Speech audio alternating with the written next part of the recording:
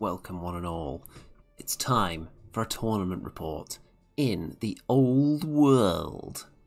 So, this is technically the second Warhammer Fantasy tournament I've ever been to in my life. The first one was Warhammer Fantasy 8th edition, and that was a good nine years ago. So, Warhammer the Old World puts fantasy back on the menu in the old world, and the dwarves are here to play. So, let's have a look at my army. This event was Square Based GT3. So, technically, there have been other tournaments going on. I just didn't attend those ones. So, 2,000 points, TSN Arena in Nottingham, and look at that. Beautiful dwarven goodness.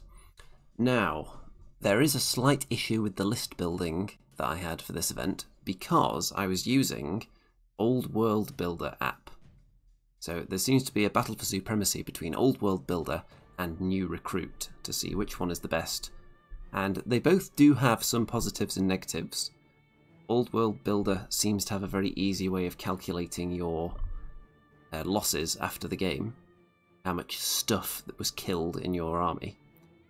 But the one issue with it is that when you're building your list, sometimes the errors in your list building aren't shown to you, and you're not told that your list is actually illegal. So, for the first day of this event, I was actually using an illegal list. Bum bum bum.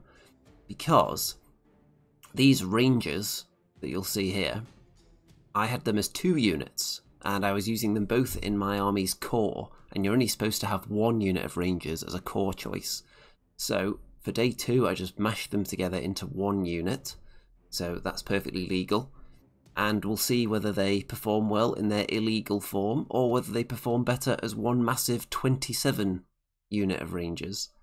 So let's go through my list first of all. If you've been following any of my practice games, you'll know that I've tested out a variety of different war machines, different combos, and what I've settled on for this event is the double organ gun, with the anvil as kind of the center of the army, and then everything else is built around that. So the anvil, I find it quite important actually, especially for running things like hammerers, because occasionally you'll want to get their armor save higher.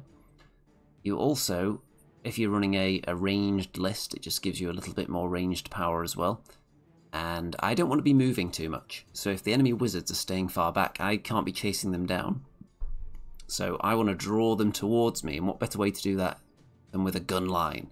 So loads of guns, anvil, good complement to that. Guarding the war machines, we have an engineer with a handgun, so he can actually help out with a bit of shooting, and a dragon slayer, who may guard the war machines sometimes, other times he may just run off on his own, baring his butt cheeks and looking for a glorious, a glorious death, hopefully killing a monster and not just being shot with a crossbow. So, uh, the anvil, I've actually given it some upgrades as well to make it even more outrageously expensive. So the anvil has been given, let me crack open my list here. So I've put three runes on it. So the Master Rune of Balance.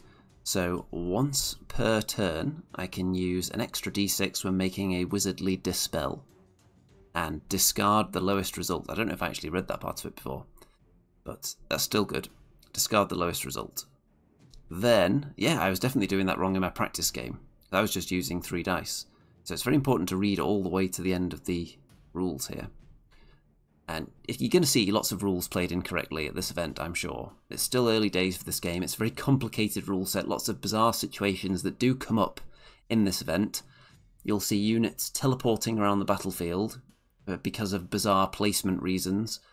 You'll see units that could teleport but can't because of certain bizarre situations that come up. Just look forward to it and then we can all look through the rulebook later together and see if we can find an answer. And if we can't, we'll just have to wait for an FAQ.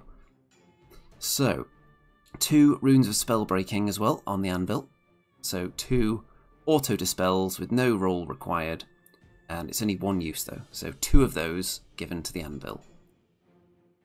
We've also got in terms of heroes, we have a Thane BSB, who's currently in there with the Hammerers, as you can see. and the Thane has been given the Master Rune of Grungni, which gives a 5 plus ward save to the unit carrying the standard, and also a 6 plus ward save in the shooting phase to any units within 6 inches of the model.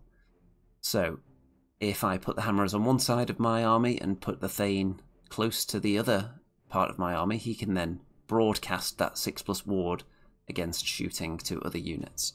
So that just seemed like a really good choice, particularly on hammerers who only have really feeble armor, so they could do with the ward save. And they're going to be a, a, probably an obvious target as well, since they're the only major real fighting unit, at least until day two when I am forced to bundle all my rangers together into one unit. Then we've got five dwarf warriors back there who are a very cheap 40 point little screening unit basically if they need to stand in front of a war machine so it can't be charged or if they need to run out there to block something off that's their plan.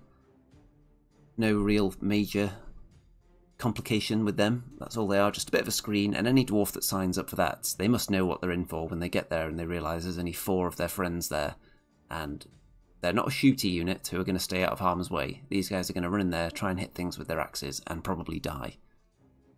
We've got Gilthos in the chat. Hello there. From California, apparently. And am I going to pronounce this correctly? Are we looking at a Andre Andrej? Andre? You'll have to let me know. Anyway, we have got a live chat down there brewing. It is a packed house in here. There are people who aren't commenting along. Don't forget to like the video and subscribe and all that good stuff, by the way.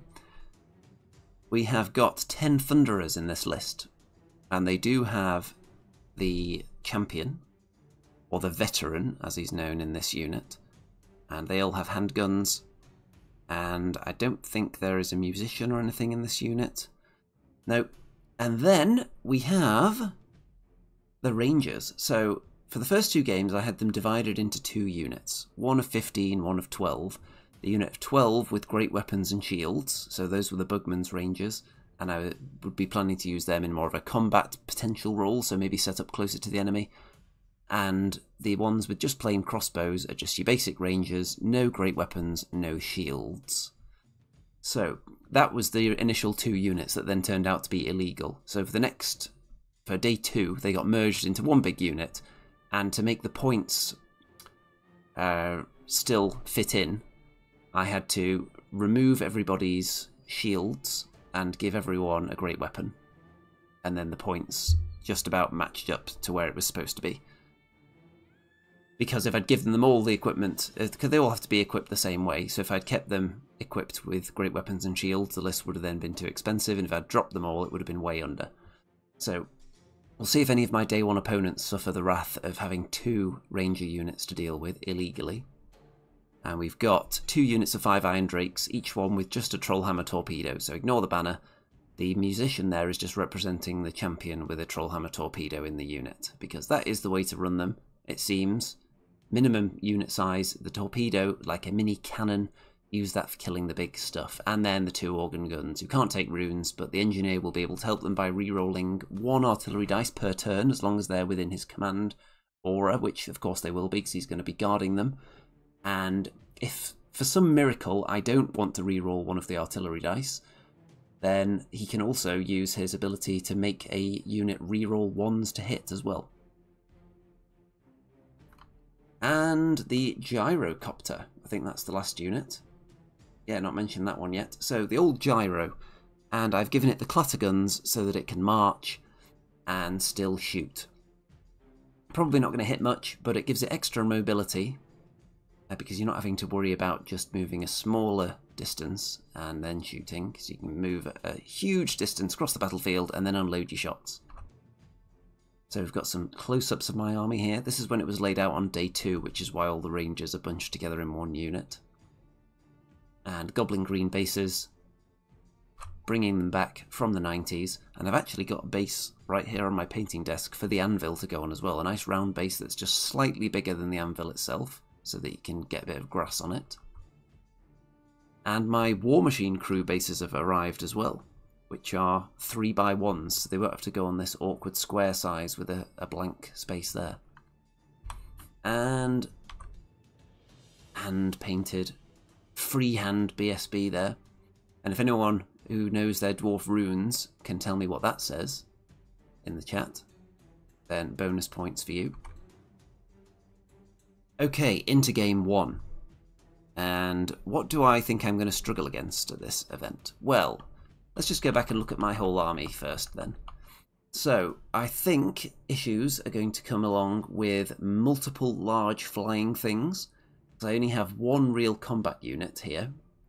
Uh, one of the ranger units is kind of combat themed, and then later on when they turn into a massive block with great weapons, of course, they're much better in combat. But really, starting off with just this as a fighting unit, the hammerers, everything else is geared towards shooting. So anything that can get into my lines and start fighting my shooting units is obviously bad. So other than that, what could be an issue? Uh, lots of speed, obviously, would be more frightening than things that are very slowly walking towards me shooting.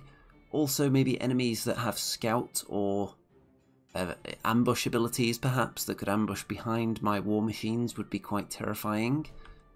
So we'll see if I come up against any of that. Game 1. And I'm pulling up the list for my Game 1 opponent now. This is the Warriors of Chaos, and they are represented by some very interesting alternative Chaos Dwarf models that are large, so they do look like Chaos Warriors, and there's a classic Marauder Giant in there as well. So, let's see. Gilthos says, My unit of five gyrocopters with clatter guns has been amazing, especially using fire and flee, understand, and withstand and shoot. Yes. That does sound good actually. With the clatter guns, I think the fact that it's a d6 shots, if you only have one of them, a lot of the time you're just going to have one shot. So a unit of five, I can see how that would be much more menacing. And stand and shoot from those guys while they're fleeing would be quite scary as well. But only one gyrocopter, so I'm waiting until they're re-released and then I'll get some more. I don't know whether they'll maybe bring back the even more ancient gyrocopter on made to order, because I want one of those as well. But I'm happy to settle for some of the modern ones to slot in alongside my somewhat classic metal one. This isn't the OG original gyrocopter. This is like the second or third iteration of a gyrocopter. This was the 90s, this one. And then they put it in Finecast later, but I don't have that one. This one's metal, and it's not, somehow not fallen apart yet. So back to the Warriors of Chaos list. Now, let's have a look at them a bit closer so I can show you the units. Now, obviously, there is a giant. So that is a Chaos Giant, which is 230 points, and that has regeneration and heavy armor, 6 plus regeneration, so that's pretty good. Then the unit to its left is 20 Chaos Warriors, and they have additional hand weapons, heavy armor, shields, Mark of Tzeentch, standard bearer, musician. So additional hand weapons says to me that their armor isn't going to be quite as good as if they had shields, so extra tasty shooting target. Yummy, yummy. And in their unit, they have a sorcerer as well, an exalted sorcerer, I think, with light armor, level 2 wizard on foot. And I think that's the only wizard in the list, so level 4 wizards can potentially be an issue for my dwarf list. Because if they stay outside of Dispel range, and if they have uh, sufficient range on their dangerous spells to cast them towards my army, I can't do anything about them, because obviously the anvil can't move. And even if level 4 wizards do come into range, on average, if they're casting, for example, a vortex that doesn't specifically target one of my units, so it wouldn't worry about my, my magic resistance, then on average, I wouldn't successfully stop those spells. I can still try, and I've added in the extra dispel runes onto the anvil to give me a bit more of a chance. So a level 2, I'm not too worried about that, and especially the fact that it's in a combat block means that it's going to be coming towards me and probably into dispel range as well, which is nice. Uh, the Exalted Sorcerer, does he have anything else? He's got a spell familiar. The Ruby Ring of Ruin, which is an extra fireball, which we're seeing a lot of at the moment. Then over here we have obviously one thing I'm terrified of seeing, a 594 point Chaos Lord on a Chaos Dragon. With Bedazzling Helm, Crowner of Everlasting Conquest, Mark of Nurgle. So this thing is going to be tough to kill, is my thoughts. And it's a very cool model, especially like the rider on this one actually. Then we have some cavalry. So there are two cavalry units in this list. This is five Chaos Chosen Knights, which is 311 points. You expect them to be good. They've got lances, shields, Mark of Nurgle, Banner of the Gods, which I think is the one that gives you extra combat resolution. Is that right? Could be wrong. That could be a different one. And then there are six skirmishing Marauder Horsemen. And they have javelins and light armor. So skirmish is obviously a bit more difficult to shoot, but they don't really have any armor, so that makes up for it. So, not a lot of units is what I'm thinking when I look at this, and I'm going to be able to kind of funnel them into the centre, hopefully. So I've put my Fighty Ranger unit. For anyone who's just joined, by the way, I am aware that my list is illegal because you're not supposed to have two units of Rangers in your core. So after it was pointed out to me that the list is actually illegal, in the later games I then mashed them together into one unit. So I've got my Rangers with great weapons and shields out on this flank to deal with the Marauder Horsemen. Got my Gyrocopter over there as well to do, do a bit of a flanking manoeuvre. I've got my two Iron Drake units in front of the Hammerers who have gone very wide. So, the thinking here is that the Iron Drakes would like to be charged because they've got really good stand and shoot. And I think I've actually got one unit like a millimeter behind the other one so that they can't be charged at the same time. I would like that to be just into one of them so the other one doesn't get killed without getting to stand and shoot. And the hammer is behind so that when the time comes for the hammerers to fight, crunch, in they go. And I've given my hammerers, if I didn't mention it actually, I've given the hammerers drilled so that they can redress their ranks before uh, making a move, including a charge, and I also gave them the Master Rune of Hesitation on their banner, which means that anyone who charges them can't use lances or extra attacks that they get on the charge or anything like that, which makes them pretty cool. Got Mad Flail in the chat. Gilthos says, large gyrocopter units are another amazing thing to hunt wizards that are hiding in the back out of range of the anvil. Yes, that's a good idea. In the middle, you can see the anvil staring down the enemy and my organ guns who are in the woods. So the terrain maps at the old world square-based TSN events, you get three of these cards and you roll off and the loser removes one of the cards. So that terrain layout is not being used and then the winner picks one of the remaining two. So there's only one that has the hills centrally and in the deployment zone. So that's probably not going to get used with the dwarf gun line involved because if the opponent is taking away the first card, they're obviously going to remove that one. And if they win the roll and I leave that one in the remaining two, they're obviously going to take that one out. So I do pick one where there are hills in the deployment zone, but not in the middle, which would be my ideal situation, obviously. And you can see that my Thunderers are on the hill, and I've put my other Rangers the ones with just crossbows, just staring down, because the enemy have to walk through here, really. Unless they want to stay back and just get organ gunned, and that's probably not going to work well for them, because they don't really have any shooting. So there are the Thunderers. And with my Vanguard move, the Gyrocopter moves up behind the Rangers as well. And obviously it will have to move to here if it wants to shoot past them, because it's not a large target. The Giant and the Chaos Lord on the Dragon are large targets. Yes, the Rangers conga line. I've put them in skirmish formation. Now, skirmish formation is fine for movement, but what I discover in a later game is that if you put them in uh, not the in the open order formation, then you don't get the benefits of being a skirmisher, but you can stay in a long line, and if you get charged, then you all get to attack still, because you do have a fighting rank. So in later games I do try it out, but initially I've just got them as skirmishers. And I go first. So the first thing that happens is the anvil doesn't enchant any of my troops. By the way, if anyone's played Dragon Age Origins and you're doing an enchantment spell, then you have to say, enchantment like the classic enchanting character from Dragon Age Origins. I'm trying to get that to catch on in the community. I don't know if it's going to take. It might.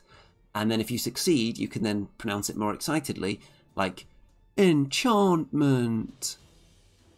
If nobody gets that reference, then it's just being wasted here, but hopefully someone does. So it fails with his enchantment spell. And I do whittle away at the enemy with some shooting. So some of these Chaos Warriors are going to start dying as a result of my organ guns, for instance. And my rangers. I don't want to move them because they're ponderous. They'd be minus two to hit if they move. So just the ones that can actually see them past this big block of terrain. Yeah, rangers are a very good option in the dwarf list. And the Marauder Horsemen take a bit of a battering from these rangers with their crossbows as well. So four of them dead instantly. And, or no, two of them, because yeah, that's where the unit is deployed, I think. So two of them have been killed. And yeah, there's two there. And then four Chaos Warriors have been killed. That's the dead pile in the corner there. I've also sent my Slayer out into the middle because he's not going to really block line of sight from the Thunderers because they're on a hill and the organ gun, he's only a tiny little guy, so it can still see decently past him for now. And there we go, the shot of the day, that is.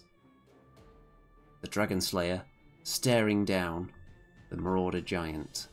That's what we want to see in the old world, isn't it? This is exactly the view we want to see in the old world. I think everyone can get behind that. So, on to the Chaos Warrior's turn. Yes, John, toned buttocks indeed. So the giant heads out there and he doesn't go towards the Dragon Slayer, weirdly enough. It's almost like he knows that the Slayer is designed to hurt monsters and is just avoiding it. So probably a wise move. Chaos Warriors moving up. The problem is, the issue the Chaos Warriors are having here is that if they march, then the wizard can't do any of his spells. If they don't march, then they're very slowly walking towards a gun line. So, having only one combat unit that needs to get across the table and having a wizard in there maybe is something to change in future games. Which I think is something my opponent did say he was going to modify going forwards. these cards behind them here, I believe these are the when the Chaos Gods cast their eye upon their champion and bestow them with some kind of blessing each turn. So it looks like plus one strength has been given to this one. And what's this? A Dead Slayer? That's because the wizard, instead of marching, just decides to mm, kill him with a fireball. So the Slayer is immediately dead. Doesn't even get to fight any of the monsters. But at least his body is right there in front of the enemies. They are going to have to walk across him, and one of them may well stub their toe. So that's a good use of a Slayer, I would say. You can see that the Knights are ignoring my flank with the Rangers and the Gyrocopter, and they're heading towards the meat of the matter in the centre. Turn two for me, so what am I going to do here? Well, the Giant is quite close, and he's also blocking some of my lines of sight to the Chaos Lord on Dragon. So I'm going to try to blast the Giant to death with the Thunderers and the Organ Guns, maybe the Anvil, and then I've also got this unit of Chosen Knights to shoot at here with the Iron Drakes. But maybe the Iron Drakes will go for the Giant because they do multiple wounds with the Trollhammer torpedoes, so I'll have to split my fire up a little bit, but these are the two main threats. I can't really get too much of my firepower into the Dragon right now. So let's see, the Rangers finish off the Marauder Horsemen, they're all dead, so the Rangers now stuck with not much to do. Gyrocopter heads in behind the Chosen Knights and doesn't do anything the Iron Drakes spread out a bit, and they're going to start blasting, and the Hammerers angle themselves slightly as well. So one thing to consider with the Hammerers, if you're going to change their ranks before you go into combat, you want to make sure that you've got space either side of the unit if you want to make them wider. So for example now, I could only fit maybe one extra guy on this side and then one extra guy on that side. So I think you have to go from the centre outwards. So you can't just pile them all on this edge. If you want to go narrower, it's not an issue, but you do want to watch out what's on your flanks if you're thinking of going wider at some point. We've got Samuel in the chat there, who is obviously appreciative of Slayer butts, as we all are. The giant takes five wounds, so I think he's only got one left. Just all the shooting whittles him down. And look at this, the Chaos Warriors, they're not looking very scary anymore, are they? They've also been heavily whittled down by all the shooting. Yeah, there's six of them gone. And yeah, it's not looking too good for the Warriors of Chaos. They're surrounded and they're being blasted to smithereens. This giant, with one wound, you wouldn't fancy his chances of surviving a charge into the Iron Drakes with that stand and shoot. The dragon has a much better chance. The Chosen Knights don't take any casualties, uh, so they've got away with one there. Uh, John says, more whittling than a scout camp. Yes, there is a lot of whittling that goes on at those, I'm led to believe, so this amount of whittling is definitely comparable, I would say. Turn 2 for the Chaos Warriors. And plus one attacks goes to the uh, a blessing that's bestowed upon the Chaos Lord on the dragon. And it's very handy that I've taken these pictures upside down, isn't it? It looks like plus one strength and plus one attack has gone to the sorcerer, which aren't things that are going to benefit him greatly. Then, stand and shoot. This is what dwarves are really good at. Stand and shoot kills two of the, of the chosen knights. And it also kills the giant, by the way. But the dragon still gets in there untouched because the stand and shoot was targeted into the giant. So that is a significant amount of points that that stand and shoot just killed. I may well lose these guys, but I've got the hammerers behind as backup. So we'll see what happens there. The Chaos Warriors just move forward. They may actually march this time. I don't know if he wanted to do any spells because they just want to close the distance to the enemy. We've got some Iron Drakes down, unfortunately, and the dragon overruns into the Hammerers, which is fine by me. You count as charging, you're not getting any charge bonuses because of my Master Rune of Hesitation on the banner. And so here's a really interesting thing that I haven't really had in my mind at this point in the tournament, but I definitely start doing it a lot more later. With the Hammerers, if you've got a Thane or a King in the unit, you can issue a challenge or receive a challenge with any Hammerer.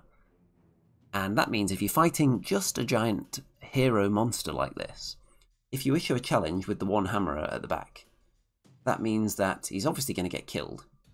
But the overkill may not be sufficient to actually cause you to fail a leadership test, depending on how many ranks you've got and whether you've got a BSB in there and other bonuses. So that means you'll only lose one guy per turn.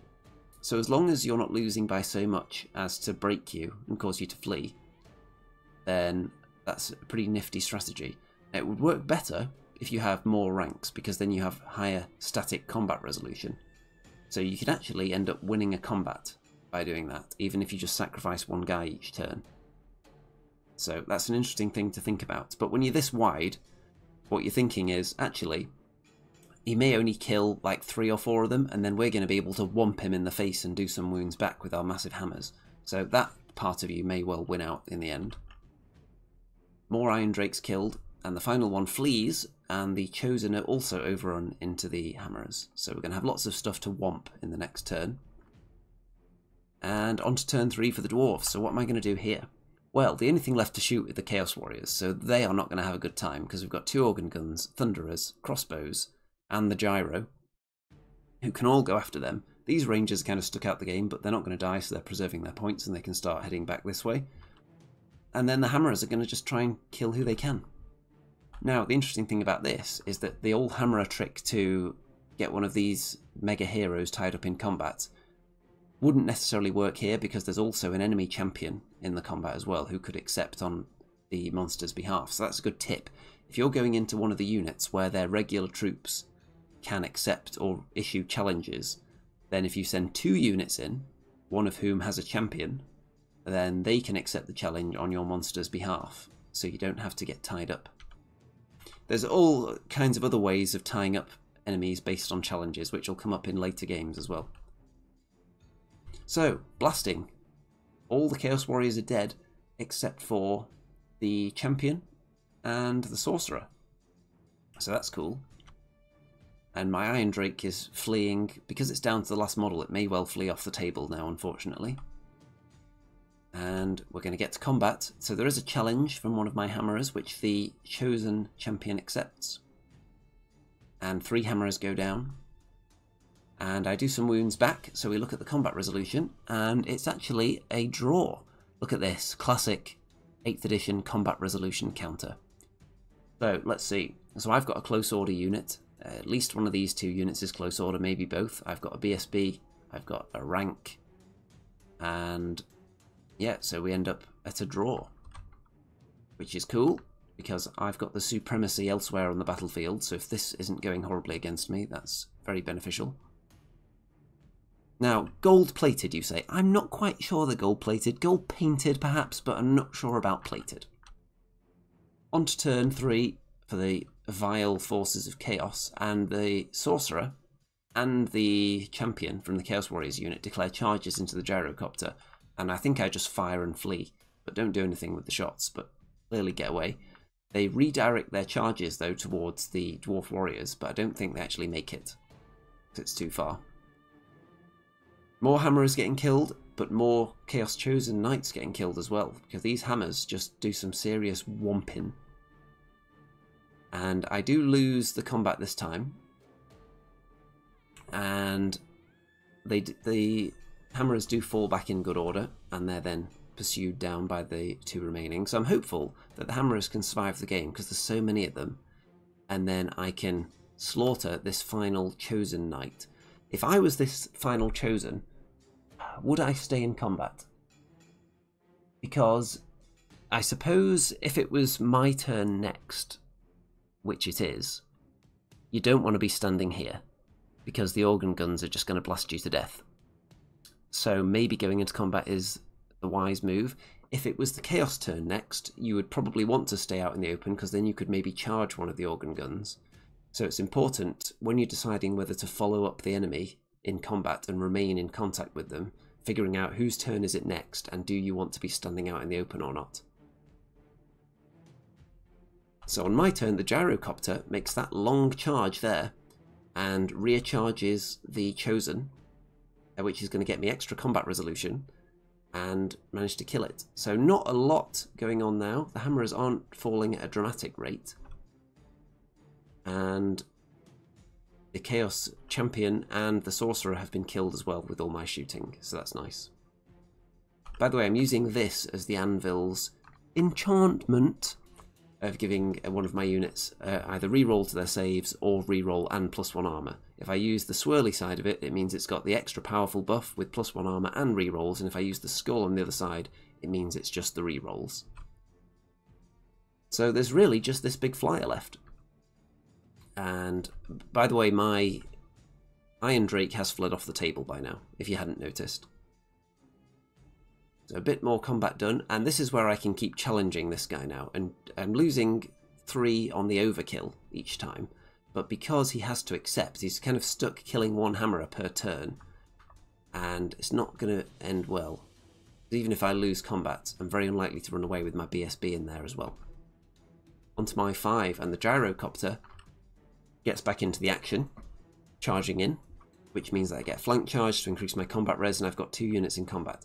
But I do decide actually I'm going to just not challenge this time and try and kill this guy because I want to get even more points to get a higher a point differential. Got plenty of viewers in there.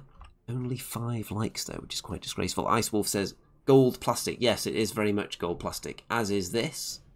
All the little fancy tokens from 8th edition from that very limited, very exclusive golden set are all plastic that happens to be gold coloured. So my hammerers do lose quite a lot and fall back in good order again. But because the gyrocopter did not fall back, then this guy is stuck fighting the gyrocopter and can't pursue them, so that's nice. So the gyrocopter may well die. You can see my rangers doing a very slow plodding march into the centre of the table to actually contribute to the game. All my shooting has nothing to target at the moment. Because the gyrocopter was still in there in the fight. And at this point, the gyrocopter obviously gets killed in the next turn by the Chaos Lord. Uh, but that means the Chaos Lord is stuck out in the open and I'm going to maybe get a turn of shooting him. So with my turn 6, the Hammerers just move out of the charge arc of the Chaos Sorcerer. Now they can't go very far, so the Anvil has to help them with a conveyance spell. Let's see, I have the same set, it was was it not from a supplement magic focused? It was from, it was a, the one I got, it wasn't part of a mega supplement, it was kind of a separate, it was in a, like a, a plastic container that was kind of like shrink wrapped or shrink plastic, what do you call it? vacuum plasticked in there. I'm sure that's a very not the best way of putting it, but like a blister pack. And you had the combat resolution counter, you've got the charge markers, you've got like swirling magic tokens, you've got all the little pins, and you've got the front arc measuring device. All that came in there. So I think it was sold separately, but it may well have been part of a supplement as well. I think I got mine on eBay after it went off sale. So got the hammers out of the charge arc. This photo was taken after it turned round to look at them so it could try and blast them. But I also had one turn to shoot it with all my weapons and didn't manage to kill it because it's got all kinds of like ward saves on it so I'm not going to kill it but I've killed everything else so that's good. And you can see that the Chaos Lord did turn around and try and flame my unit but unsuccessfully and he killed one. Let's see. It's crazy how inaccurate the measuring tool was in that gold set. I think at 10 inch range it was more than an inch off. Yes, actually, the gold... They did do like a golden tape measure, didn't they? So I didn't get that. My set did not have the golden tape measure in it. Mine was more just the tokens rather than the measuring implements. So I'm sure anything that Citadel or GW have put out over the years using it as a true measuring device has always been a little bit risky. If you look at, I've actually got a video on the red whippy sticks coming back, and their range has never been reliable. So the hammers are down to one model, so my opponent will score some points for getting them to below 25% strength, and there are some dead iron drakes as well. Not a lot else. I've got a lot of points for killing things, but this guy is very expensive. That sorcerer, uh, not sorcerer, the Chaos Lord is 594 points, and he's not dead. So that results in a 15-5 win for me. And just a win in general, which is very nice. Because that's what you want. Wins. That's what we live for, isn't it?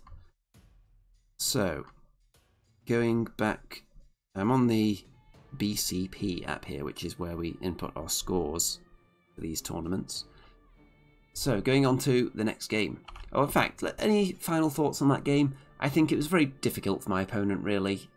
It was a very slow, plodding, powerful unit with a sorcerer in it. Not, not enough spell casting, really.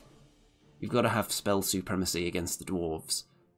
If you can put down vortexes to block my shooting lines of sight, you can actually move.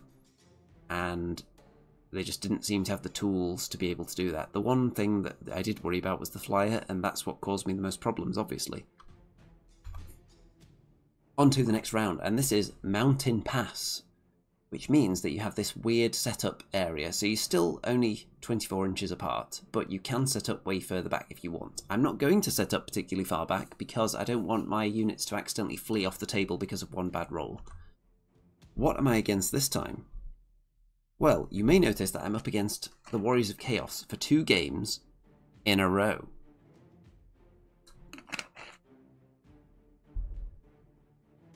So I'll crack open that list right now.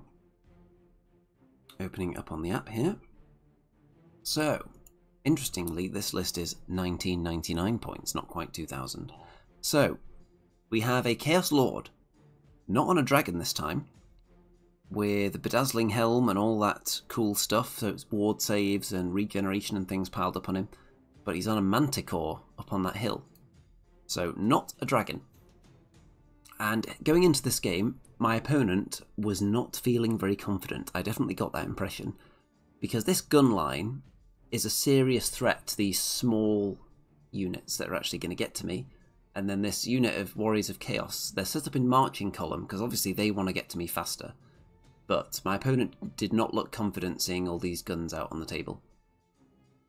So, what else is in there? There is a Sorcerer Lord who is hanging out at the back, outside of the Anvil's Dispel range. Probably a good idea. And what does that one have? It's a level 4, a Lore Familiar, Spell Familiar, Demonology spells. There is an Aspiring Champion who is the BSB on foot, who I'm guessing is in this unit here. Can't really see from this angle. There are two units of 5 Chaos Knights with lances, Uh, Mark of Chaos Undivided, Mark of Khorne, and Full Command. One is there and one is up at the top there. And then two units of five Chaos Warhounds, which are very cheap, 35 points, but as soon as they start taking casualties, they're quite likely to just run away. Chaos is always popular, and it was my first fully painted Warhammer Fantasy army, Chaos Warriors. So back in the day, it was when they did the first multi-part plastic kits, and Chaos Warriors, correct me if I'm wrong, were the first one where they started doing one for each army, or more than one in some cases, and giving you a movement tray in the box with them. So I had one unit of one unit of 12 Chaos Warriors, which was the standard size at the time, 4x3, one unit of Chaos Warriors with halberds, which they did with the metal upgrades for the arms, and I had chariots back then, which was really cool, and I had some Chaos Marauders. I had pretty much all the special characters. I had the 90s Archaon, who was a little bit smaller than the later one, but he's maybe one of my favourite models. I had, uh, what's his name? Arbaal the Undefeated, the Khorne champion, mounted. There was Aekold Helbrass, the Tzeentch champion that could never die, so whenever you kill him, he would just appear somewhere else on the battlefield. Had a really cool Chaos Warrior army, and I wish I still had that actually. I'm hoping they bring back some of the cooler stuff when they get round to doing this army in the old world, and probably on a made to order basis. I would definitely get some of those characters again. I don't think they'll go back to the plastic warriors that I grew up on, but I could probably make do with the later ones. But Chaos Warriors are definitely on my list as an army to do after Dwarves and Bretonnians. They're on my list, so consider yourself warned, community. So, the 23 Chosen Chaos Warriors, which is a 585 point unit, by the way, so very expensive. They're drilled like the Hammers, so they can change their formation. They have the Banner of Rage, and it doesn't tell me on here exactly what that does, but I'm sure someone will know. They have full plate armor and shield, so they have good saves, and that is mildly concerning, but not especially, because I do have quite good AP and armor bane across my army. Now, crossbows, well actually, here's a side point. The dwarf units, they have a crazy variety of AP and armor bane combinations, so it's quite difficult when you're starting to remember which one has which. So the crossbows don't have any AP as standard, but armor bane too. So thematically, I suppose that makes sense because a crossbow hitting the armor isn't going to be as good as, let's say, a bullet. But if you're going to get it into an eye slot, then obviously that is quite good because it's a very tiny little point it's going through. So uh, that makes sense. The Thunderers are AP 1 Armor Bane 1, so they have a little bit more AP as standard, but when you roll a 6, they're the same as the crossbows. The Iron Drakes are AP 1 Armor Bane 2, and so are the organ guns. So, a good AP to start with, and really good AP if you roll that 6. The Trollhammer Torpedo is just a straight minus 3 AP. Uh, the Anvil's Striking the Rune Magic Missile is AP 2. And in combat, there's quite a difference as well. So, Gromril hand weapons, which all the heroes will generally have, are AP 1. The hammers are AP 2, Armor Bane 2.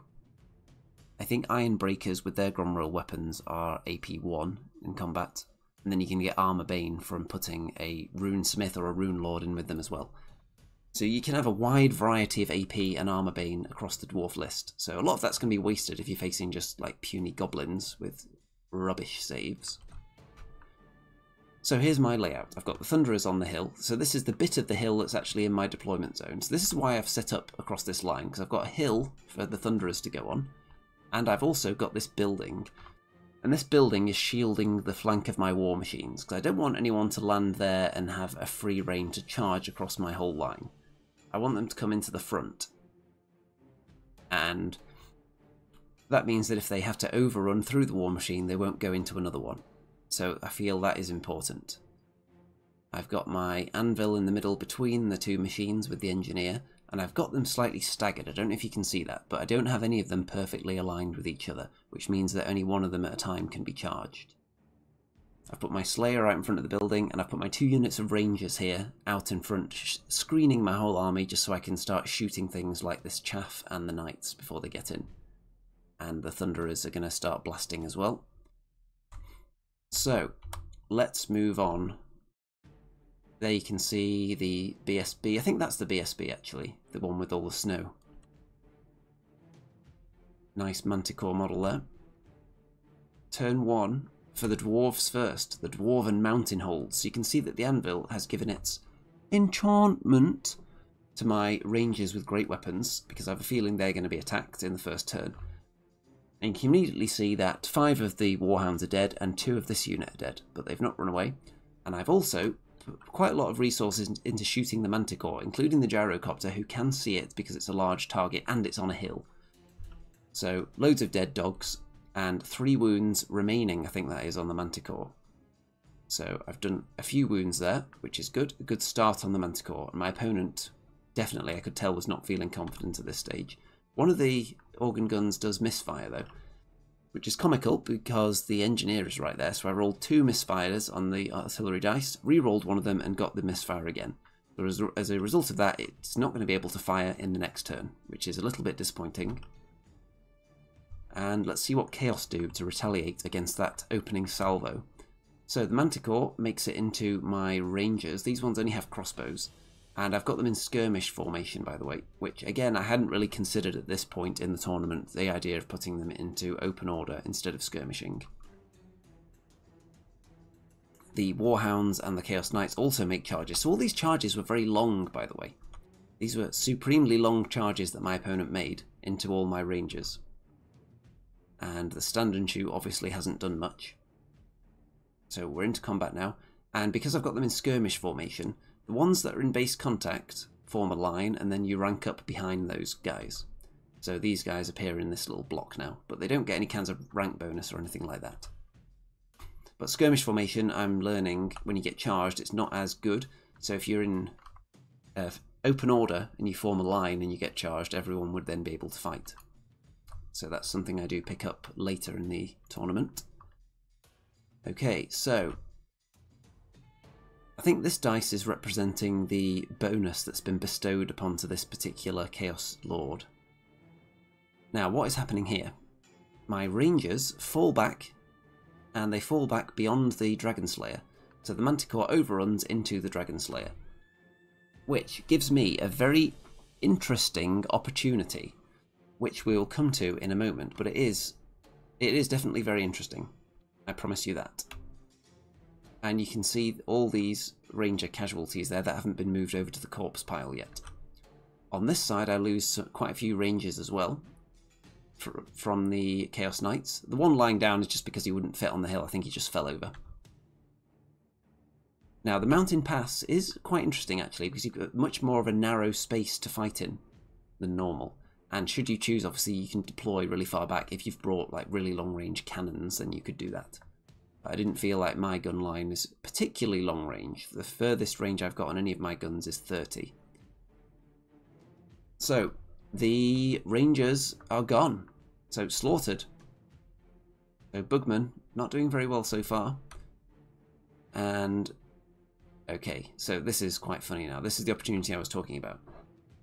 This Manticore is in combat with a Slayer. But because the Rangers are in skirmish formation, the the Slayer isn't blocking them at all, because they can still charge back in. So the Rangers do charge in. And I'm thinking, you know what, this Slayer is unbreakable. So if I challenge with the Ranger champion, that buys me a whole turn. Because even if I lose the combat by maximum of the overkill, the Slayer is just unbreakable anyway. So this guy's going to be tied up in combat, unable to punch the Slayer. Which is cool. There we go. So obviously he gets eaten, but the Slayer is standing there in combat. Even though these guys, I think they just give ground a little bit.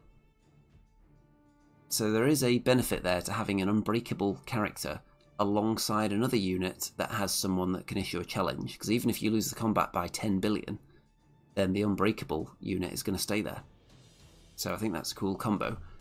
Now, if I was writing the rules for Slayers, I would probably put something in there that says that they have to be the one that issues a challenge to a monster rather than the champion of another unit. Because it's not particularly thematic for the ranger champion to step up and say, Manticore, I challenge you. And the Slayer's like, yep, that's fine by me. I'll just sit back here and watch you get eaten rather than seeking my glorious death.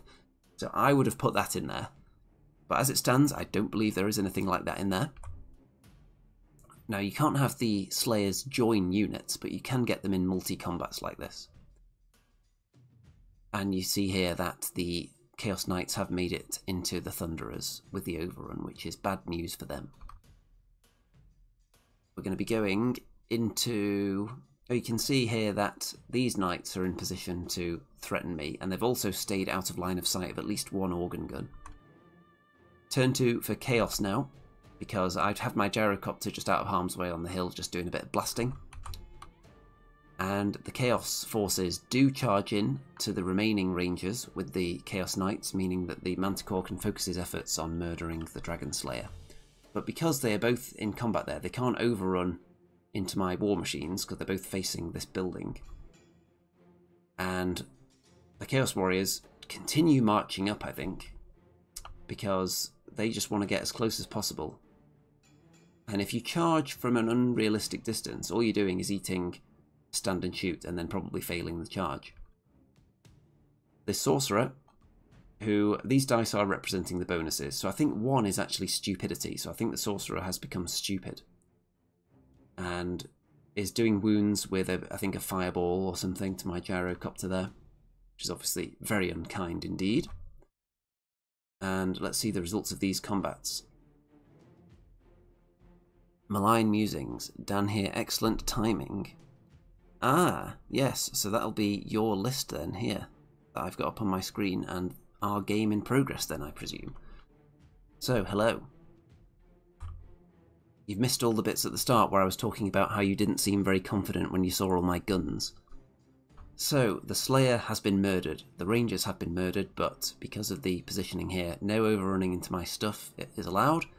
The Manticore decides the best bet is to overrun and just end up over the top of the building, bounce to the other side, because then at least this organ gun is going to have a hard time shooting it. Because obviously that is a worry, because it's taken a load of wounds already. These knights, though, are kind of stuck. They're going to have to spend at least a turn kind of reorienting themselves somehow before they can get involved in the game again, because this terrain is really playing havoc with their maneuverability. And from this angle, you can see that we really have to start dealing with this unit now as well. Or do we? That's the question. Do I just stop blasting this unit of knights, or do I try and whittle here instead? You can see that this organ gun at least has its line of sight obscured.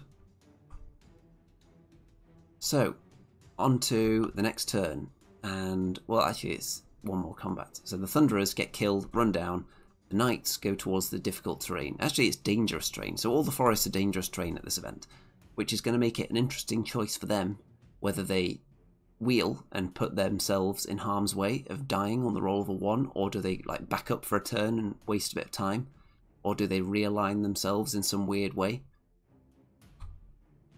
The sorcerer gets charged by my gyrocopter, so they're going to have a, a fun little fight to the death. The sorcerer did put a vortex down in front of it as well, I think, which subsequently moved. So let's start blasting at full power. The organ gun is no longer worried about misfiring, so let's see what we can do. Well, more wounds to this guy. And I think the Manticore is actually down to its final wound. So it's very risky if he wants to get back involved in the game now. Over here, I just spend a turn buffing up with the anvil this unit of Iron Drakes with enchantment and waiting for these Chaos Warriors to charge into something. And I've made sure the hammers are extra wide so that when we do get into combat, we're going to get a billion attacks. And my these guys were supposed to be a screen, but they've not done a very good job. The enemy just totally ignored them, so they're going to start coming back in and maybe look for some action over here. Okay, so onto the Chaos turn, and obviously the charge into the Iron Drakes. Did any of them get killed by that? Possibly from the stand and shoot. And We'll see if they can murder an overrun. Now, there's a really interesting situation that comes up in a minute as well. So, the Chaos Warriors change their width. They don't go as wide as they possibly could. Because what they want to do, I believe the intent, is that after combat they overrun into the Iron Drakes, and then because of the width of the unit, they would then not sufficiently have enough to also contact the Hammerers, I think. And the Hammerers because they because this unit of Chaos Warriors wouldn't stick out very far, the Hammerers would then have to make a disordered charge into them, so then I wouldn't get initiative bonus. And I wouldn't be able to make contact with many models. So it would be a weird, bizarre situation if you look at this unit of Iron Drake kind of blocking the way. So yes, we'll see what happens. Yes, that is the thought process behind it, as confirmed in the chat there. So the Chaos Warriors would count as charging for overrunning, but the Hammerers, if they then made a disordered charge, would then not get any bonuses. And the Chaos Knights in the woods do decide, you know what, we're not scared of a bit of a, a bit of branch or a bit of tree root tripping our horse. We're going to turn around and take our chances, and they are rewarded for that by not dying. The other knights just back up a bit because they were stuck. And the Manticore flies off to hide as well. It's down to its last wound, so that is a good choice. The organ guns can now no longer see it because we were treating this as a big just blocking piece of terrain. For simplicity's sake. The Gyrocopter and the Wizard have a bit of a duel, and they've both taken wounds at this stage. And let's see what happens to these Iron Drakes.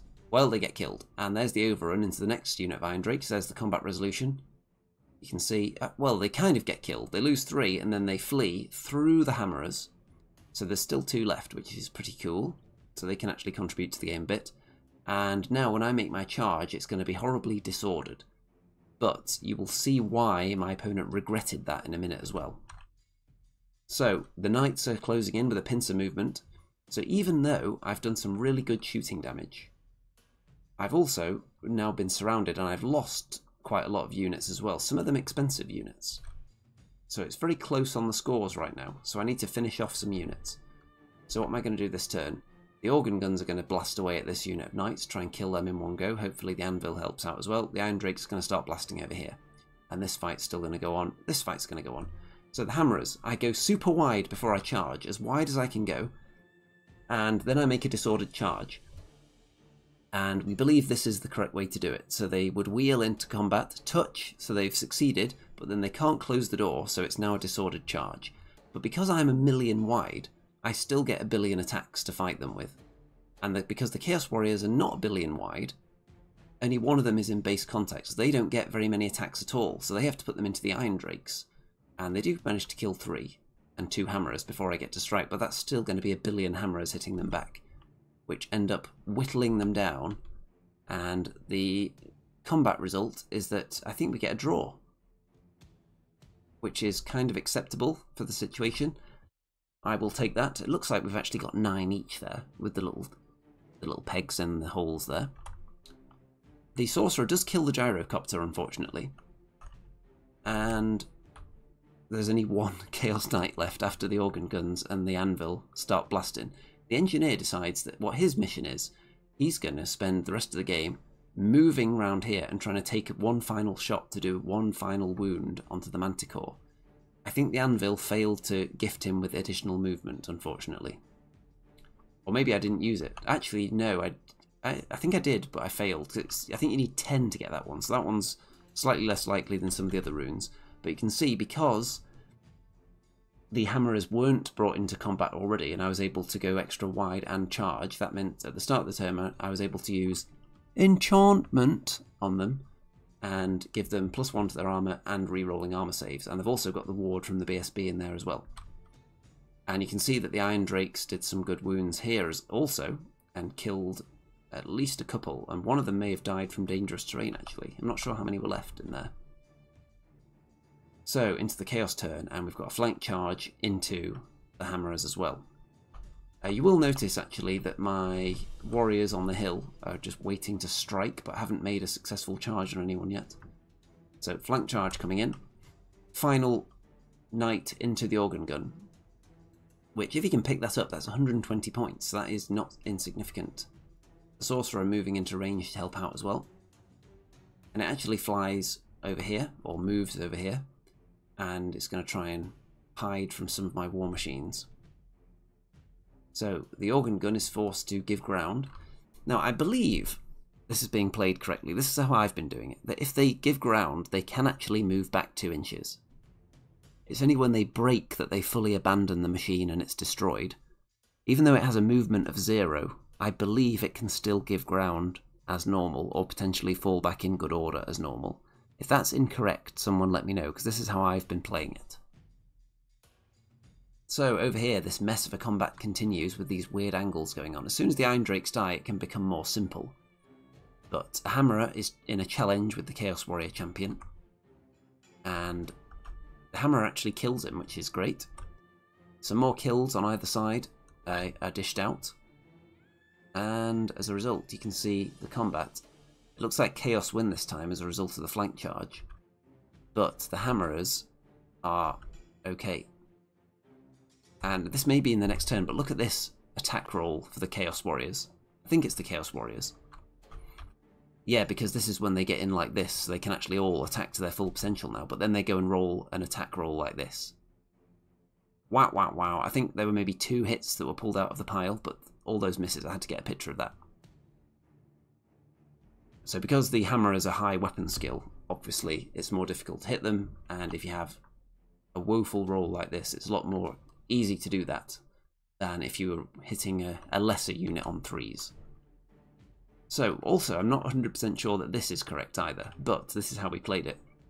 So these knights were in the flank of the hammerers, but then when the hammerers fell back in good order, the overrun would then put them into the front of the unit. So I think that's correct? Or do you just continue in the facing you were in? I think it's correct, but if it's not, someone will probably give me a million comments. Is it actually a 1 in 4096 chance of failing with that many of those dice? That's impressive then. And I believe you did another quite bad roll as well, which I, I think maybe I took a bit of a picture of over there, but that one's quite bad as well. So my warriors are really hoping to join in one of these combats and turn the tide in my favour, but they're just too slow, so they keep failing their charge and the organ gun crew are slowly getting whittled down by this remaining knight as well. So, the fact that I've got lots of enemy units that are almost dead means I'm not picking up many points at the moment, so I need to actually finish off some of these units by the end of the game, ideally. Turn 5 for Chaos, I think. And more wounds done to the organ gun crew. Oh, there's the other terrible attack roll. So look at that one as well. Horrendous. So four hammerers do get killed. The two Chaos Knights do get killed, which is great because that's got me the points for that unit and some more Chaos Warriors. And we draw another combat. So this fight is raging on and we're both running out of models rapidly. Look at that, seven each. So that's going to rage on. But the Hammerers are feeling the benefit of having gone wide going into combat because we're getting a larger fighting rank than the Chaos Warriors who were narrower when the combat started because you can't then reform while combat's ongoing. So, here's an interesting point. If you win the combat on your opponent's turn and you're drilled, you force them to give ground or fall back in good order. Rather than following up, maybe the best move then is to then change your ranks around a bit to get into a more beneficial formation, either more ranks for combat resolution or more frontage if you've got the space for extra models attacking. So I do kind of like this.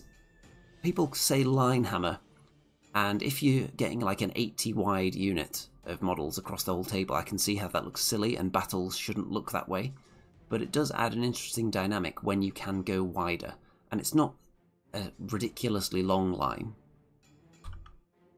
So I think it does add some a little bit of extra spice onto my turn six. So what am I going to do? Uh, it's going to be really difficult for me to kill this guy, this final knight, because it requires the organ gun crewman hitting him with his barrel swabbing stick, which I don't think is particularly fatal.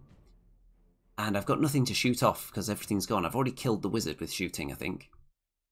So, uh, yeah, it's difficult for me to get any points. My engineer is going to probably have one shot at the manticore, see if I can kill it. So, turn 6, and I think this is actually the Chaos Warrior turn now. So I don't kill the Manticore with my one chance, because he's hiding even better now. Or he may have popped out again so we can maybe charge the Engineer in a minute.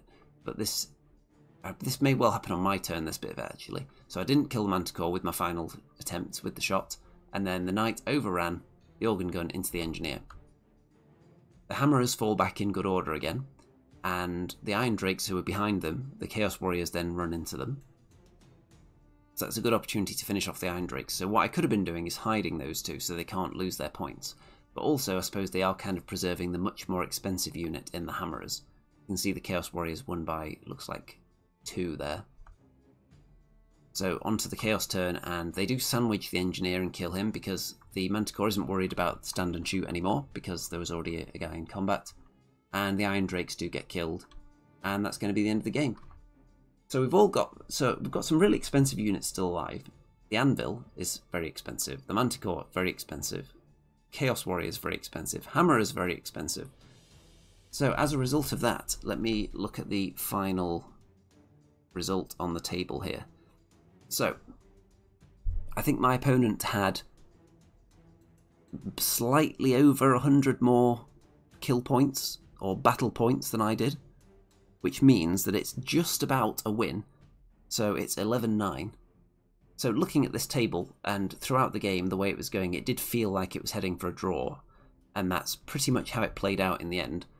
It was just a, a very small amount of points that went over into the, the Chaos favour, which correctly pointing out it was the organ gun and the engineer at the end, and the Iron Drakes being finished off in the right at the end of the game there. So those three going down definitely swung it.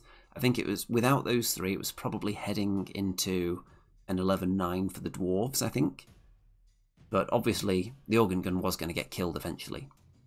And had that that knight been killed, yes, that would have been quite a healthy chunk, uh, quite a healthy nugget of points going to the dwarves if he'd been shot off as well. So very good game, very close. And what I'm learning so far, the first game wasn't the best example because I think the Chaos Warrior list, how to put it politely, I don't think it was optimal.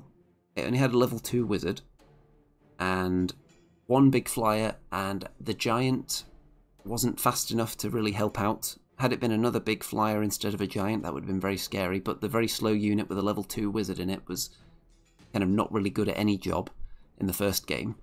So if we if we think about more optimal lists, I think this Chaos Warrior list was much better, much stronger, some fast units, some hard-hitting units, and a wizard who wasn't in a unit, so that they could actually go forward and fight and do what they're good at, and the wizard could stay out of dispel range and do what he's good at, which is cast some spells. So I think this is a much stronger representation of Chaos Warriors. So I think when you look at it and you think that's just a pure gun line, how is this game going to be fun? I think gun lines have been reduced in power sufficiently, especially war machines, compared to the previous editions. 8th edition dwarf cannons would have killed that manticore and just had it on toast in the first turn. And you'd be very lucky to get anywhere with that thing. And the knights as well would have been probably. I think the organ guns did used to be a bit stronger, so what I'm remembering of the organ guns is that one of them could the organ guns use the engineer's ballistic skill? Could one of them use it? That may well have been a thing. Some of the war machines definitely could. I know bolt throwers definitely could use the engineer's ballistic skill in 8th edition. I don't remember whether organ guns could, but war machines have definitely been toned down in this edition. In this edition, less guaranteed wounds from them. So I would say gun lines, once you get into them, they're going to die quite fast, but obviously you want to support them with fighting units as well, like the Hammerers. So pure gun line, I don't think is going to do anything in this edition. You need some fighty units in there as well. Let's see. Knights and Warriors used to be a lot stronger, according to Malign Musings. Warriors are 2 plus 6 plus plus, standard Knights were 1 plus 6 plus plus. Yes, so I remember back in the day when knights, Chaos Knights were the strongest thing in the whole game because they were invulnerable against Strength 3 attacks. So that's when I had my Chaos Knights in, would that have been like 4th edition or so? Because they had a 1 up save and ones did not auto fail armor saves back then. So this would have been around 1998 when I had my Chaos Warrior army. Around that time. So back then, if you charge Chaos Knights into a, a big blob of goblins, they could just do no damage to you. And you would just kill a few of them each turn and murder them. So I assume that rule continued for a little while because that my Chaos Warrior army was late 90s, I would say. And then later on, I remember Chaos Knights, suddenly it was like a big scandal that they could be hurt by strength 3 attacks now in one of the follow up editions. So suddenly the Chaos players were outraged that they had to actually worry about Goblin bows suddenly, which was kind of funny. But I'd moved on to Dwarves by then. By about the year 2000, I think, I moved on to Dwarves, which is when they did the multi part Dwarf box. Into the next round. And we have another open battle, and I'm just going to pause to take a small drink.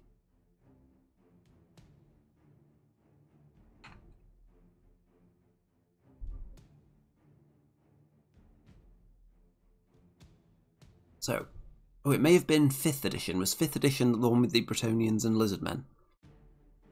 In the starter box, because that's when my Chaos Warriors got most of their play, so it could have been 5th and then sixth would have been Empire and Orcs in the starter box, which is when I started playing my dwarves. So yeah, so it was fifth edition when the Chaos Knights were immune to Strength 3 damage. Just fun for me, not so much fun for the Strength 3 units that were facing me. I used to like putting Archaon in the unit of Chaos Knights as well. That was a fun time. So you've just got six models running around that just can't be harmed by a lot of stuff that was coming at you. It's kind of the way ethereal units have been at various points in the game in the game's history. And we've got another open battle coming up. So, the scenarios in the old world don't really make a lot of difference, except for the last one. Except for the mountain pass, which gives you a vastly different deployment setup. A lot of them are just slightly different flavours of the same thing. It's mostly just about killing, and that's kind of what the game is, it's what it's always been, but that's not how modern games are doing it. So it'll be interesting to see if after a while they release, when they update the old world, which I'm assuming they're not just going to sit on it and abandon it and, and never give it any support going forward.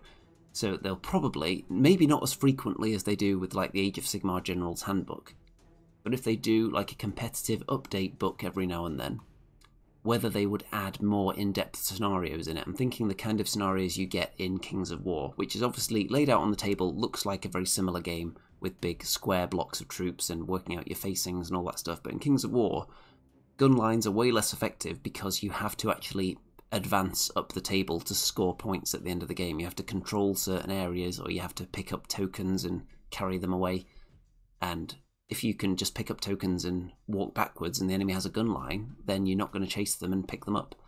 So I'd be interested to see whether the old world goes that route and starts encouraging play into the middle of the table. Because at the moment, it's only dictated by whether you want to fight or whether you want to shoot, which is all well and good, but it can lead to kind of negative experiences that can potentially put off new players, I would say. Because if you're not building a list that's designed in such a way that you're forcing the enemy to come at you, they can quite happily just stay away from you and shoot you or dance around you or pick off your weak units. So it's not necessarily a very good early experience. If you have a new player and you say, the objective is we have to control this area in the middle of the table, and if you do that, you win the game, that's quite straightforward. You can get your head around that easily, and maybe even if you're not the best at figuring out which units are good at killing what. You can still do that. You can form a, a, solid line, not open up your flanks, march forward into that area, and you've got a good idea of how that game should be played. So that's something I'm going to be keeping my eye on, whether GW go that route. I would be in favour of it, but of course I'm a Kings of War player, so I'm used to that kind of thing. Old school Warhammer players, this is just the kind of thing we've been dealing with forever. It's just kill stuff, and occasionally you'll have like a tower that gives you extra points if you hold that, which is what we've got in the old world. But this is another open battle. A 12 page FAQ on the way, apparently. That I'm very much looking forward to. There's something that comes up in one of my games uh, that definitely, I think, needs a bit of an FAQ. Although I don't know whether it'll get one, because it's not... It's debatable whether it's clear or unclear. So, on to the next game, and this is a dwarf mirror match. And these dwarves, you can't tell just from this picture, but the paintwork on them, it's very impressive to me, and I'll explain why when we get a bit of a close-up of them. But you can see that they've got some rangers out there, and because I've got rangers and my opponent has rangers, we had to roll off uh, when deploying them. And my opponent got to put some down first and put them right in my flank. So I had to put a unit of rangers down there to counter. But I'll take you through the list anyway, because it is quite different to my list, although there are some similarities. So let's crack that bad boy open here. So, I'm going to analyse the paintwork on these guys as well. So here's a bit of a close-up. Now, this is this is kind of the if we're talking about the beards, they are more natural colours than I use. So this is a far more gritty and modern looking dwarf army than mine is. Mine is very much classic 90s, bright orange beards, bright yellow blonde beards.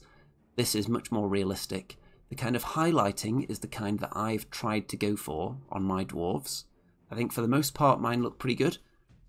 Uh, but these are obviously very, very nice, very, very clean, very shiny, but not in a gloss sort of way. I think it's one of the specific silver paints that was used comes out in this really nice, natural looking shine. And there is highlighting going on as well. It's not just a flat paint that's been used.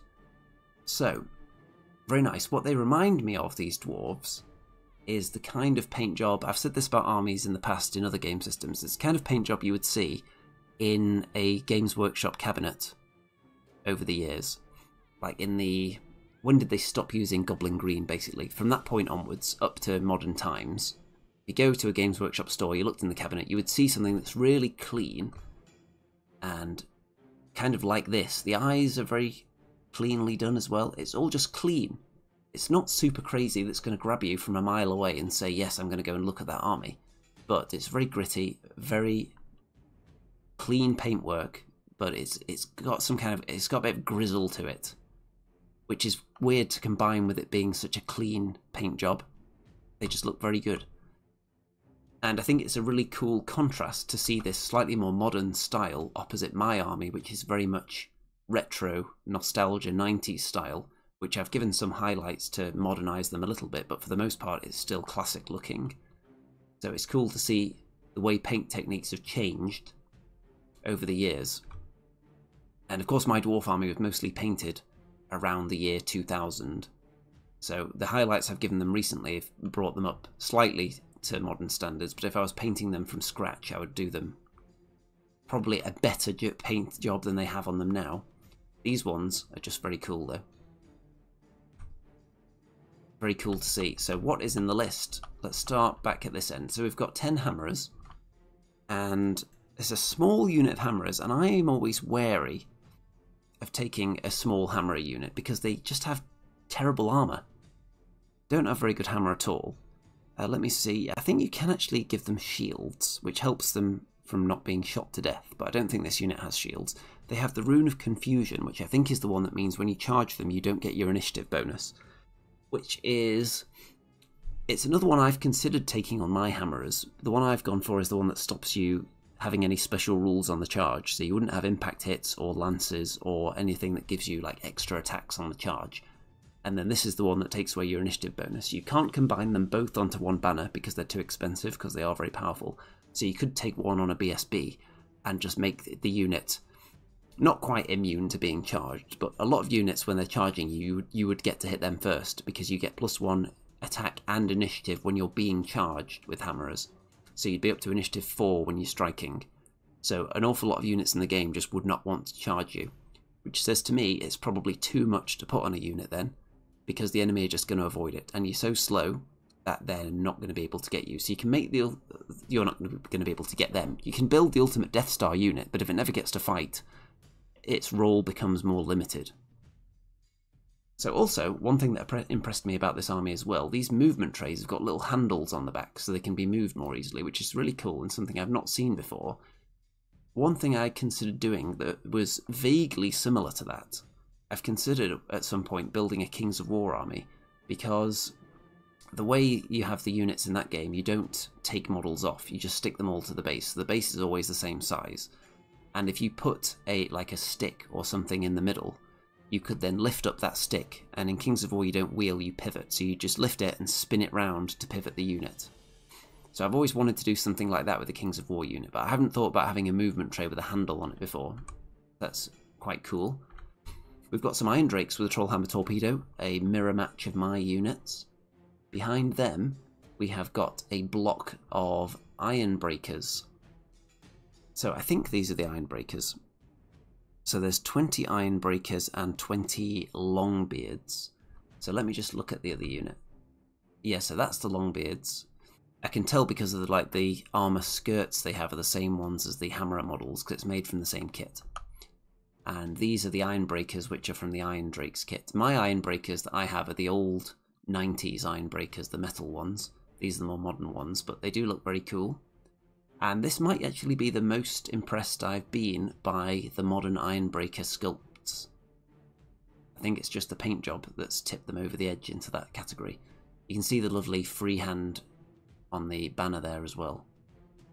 Very nice work. So what do those Ironbreakers have? They have...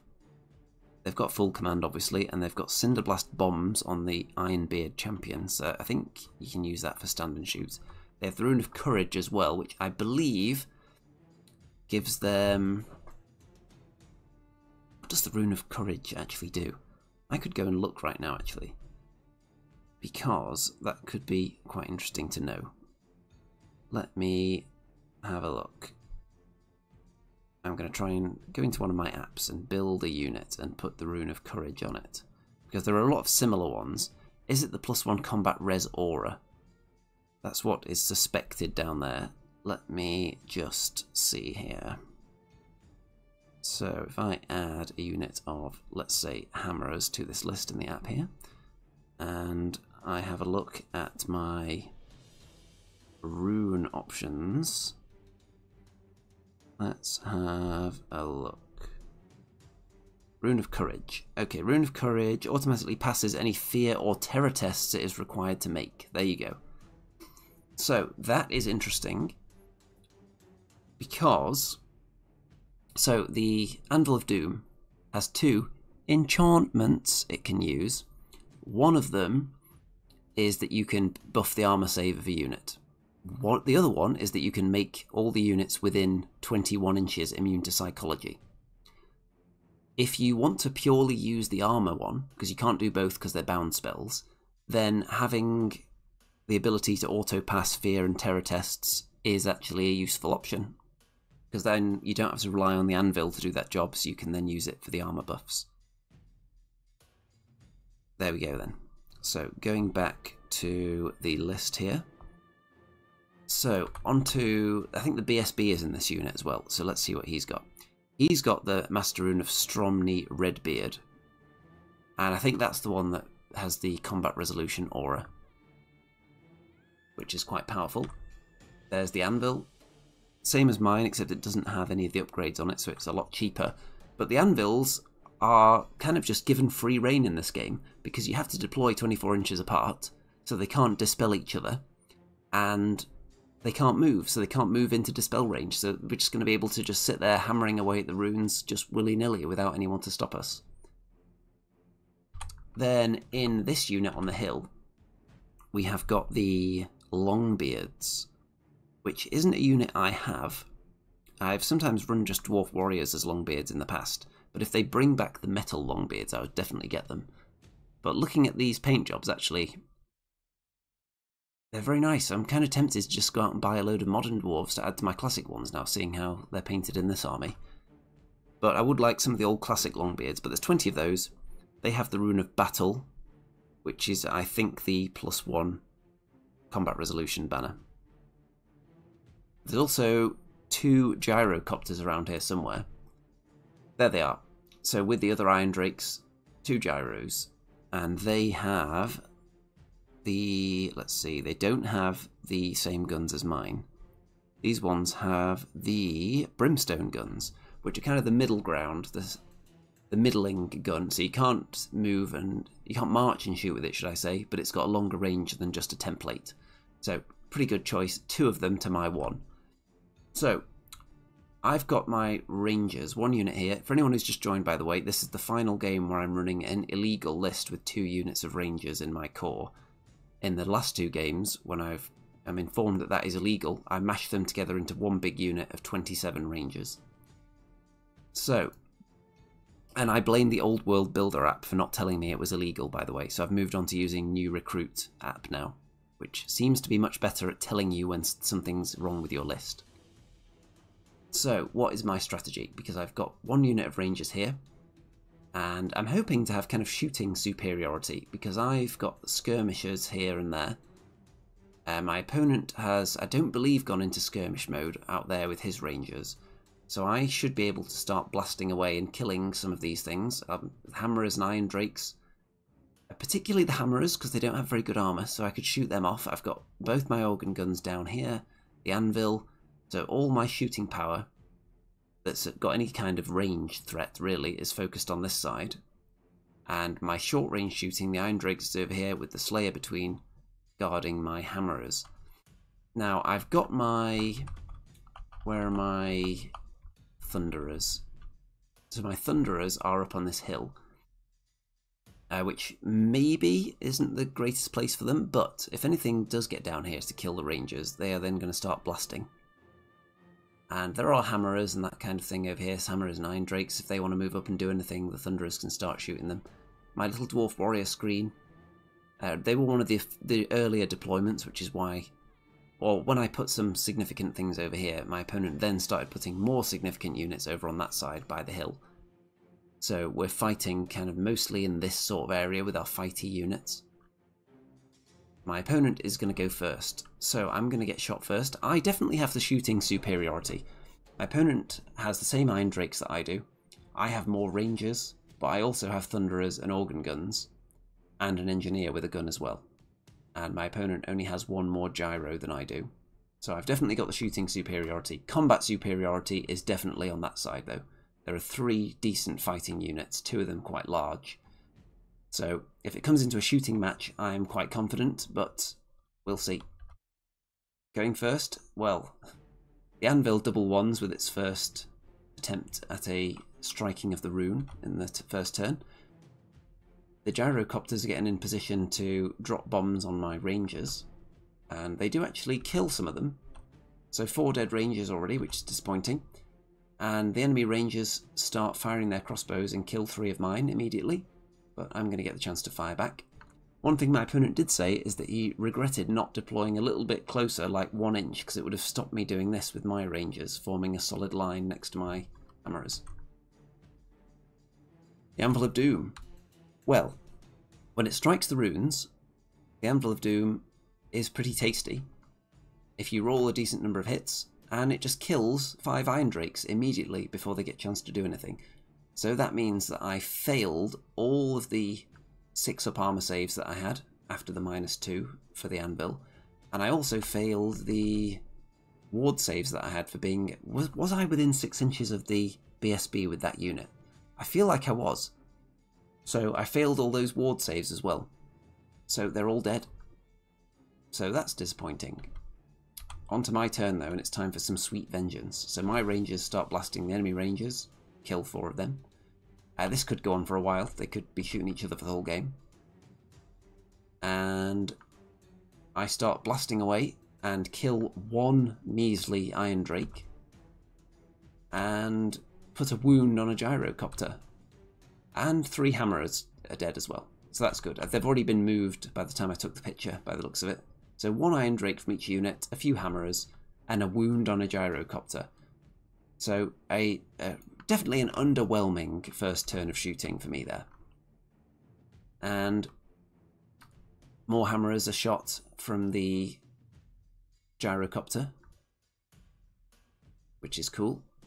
Into turn two for the evil dwarves now. We've got one gyrocopter charging the organ gun, the other one charging my little unit of dwarf warriors there. And the iron drakes start firing at me. And I don't think they do much in this turn, but we're down to three rangers now in this unit. They've been shot. My other rangers that are in the ranger on ranger action on the flank lose another two. So I'm quite confident here because they're in open order, which means they're not skirmishing, and I am skirmishing here. This combat, not much is going to happen there. I lose a crew member to the gyrocopter here. And my war machines are very, very vulnerable to this kind of thing, unfortunately, because I don't really have anything decent guarding them. I've got the my Slayer over there. He would have been a better choice to guard them than the Engineer. So if I'd had the Engineer a little bit further forward, Slayer here, he could have then attacked the gyrocopter.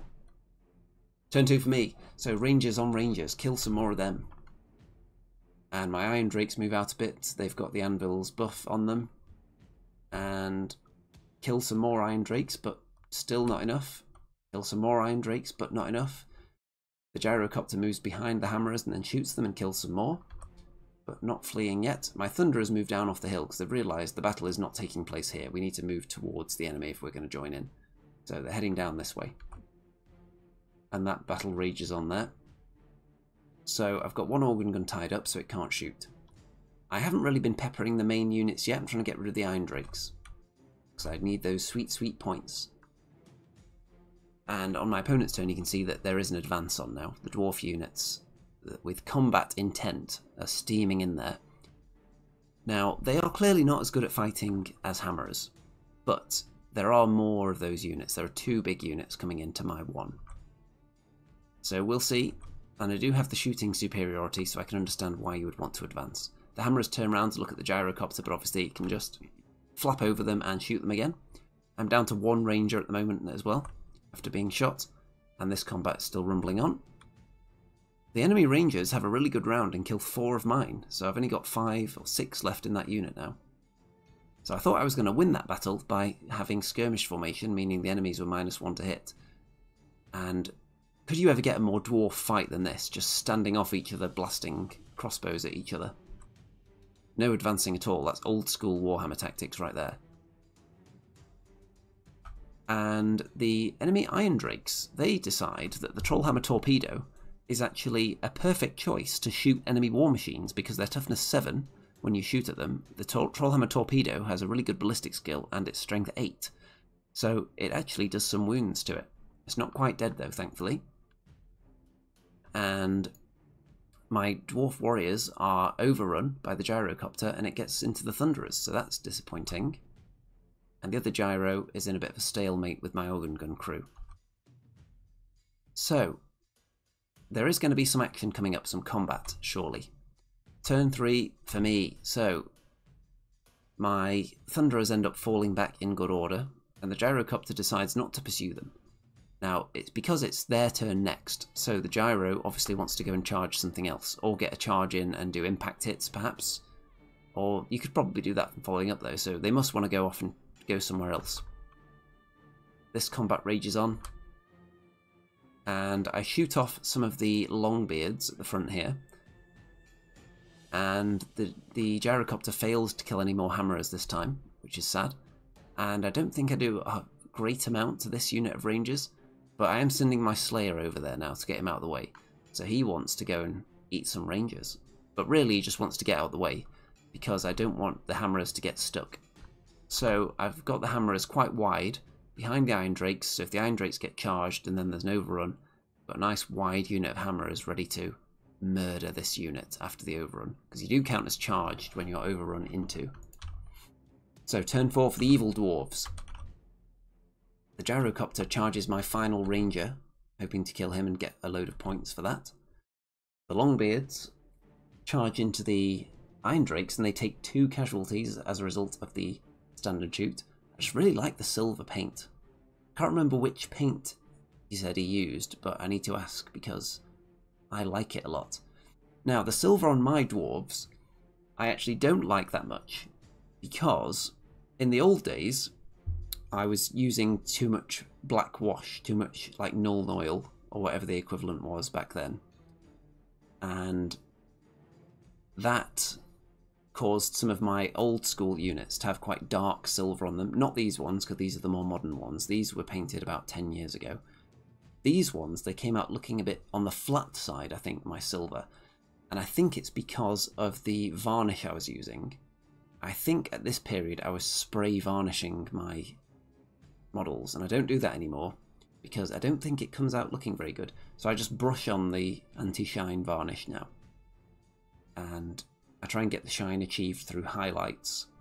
I still think the Iron Drakes look very good. I haven't given them any touch-ups at all. I think that blue armour came out really, really nicely whenever it was I painted them. It is about 10 years ago, isn't it, that they redid the Dwarves uh, for the final time before the world blew up. The Hammerers are running away from the gyrocopter, but they're really running away to try and get further away from my organ guns, I think. Ranger on Ranger action causes a couple more casualties. And the Iron Drakes are killed. The Longbeards do not overrun. Did I even mention that there's a king in this list? I think I may have skimmed over the enemy king, you know. Let's see. I'm going to go through it if I haven't. Yeah, I don't think I actually mentioned the king.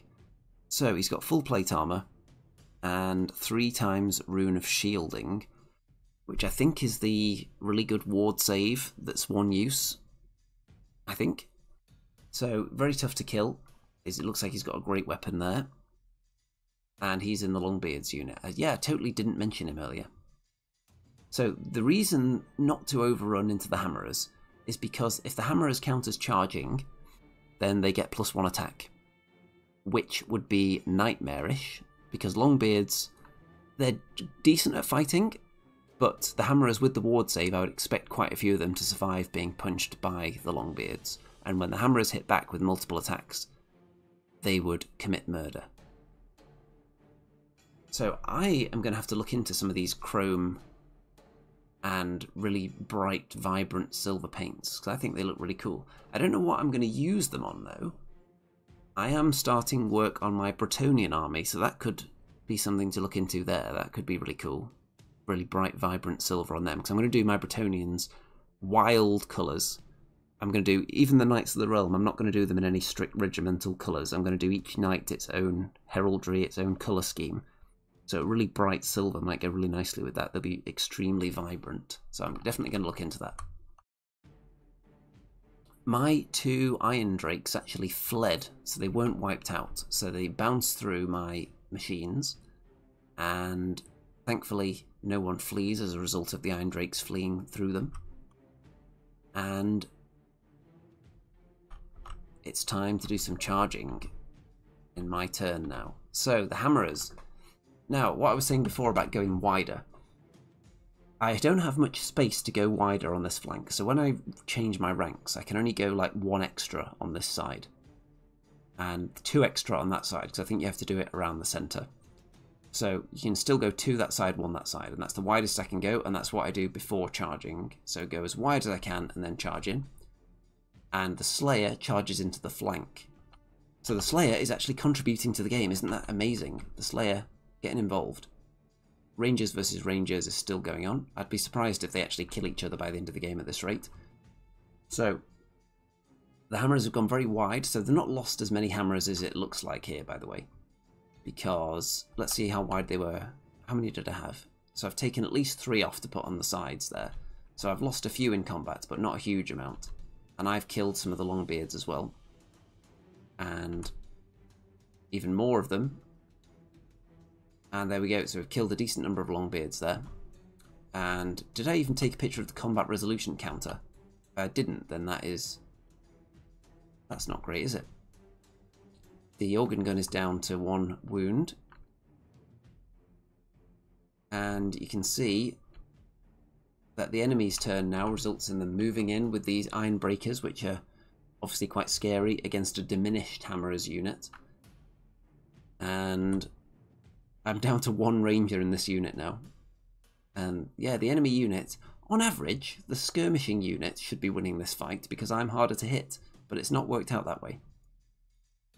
The enemy anvil then kills my gyrocopter, I think, which had flown down here to have a go at the Iron Drakes. There's still one of them left, gosh darn it.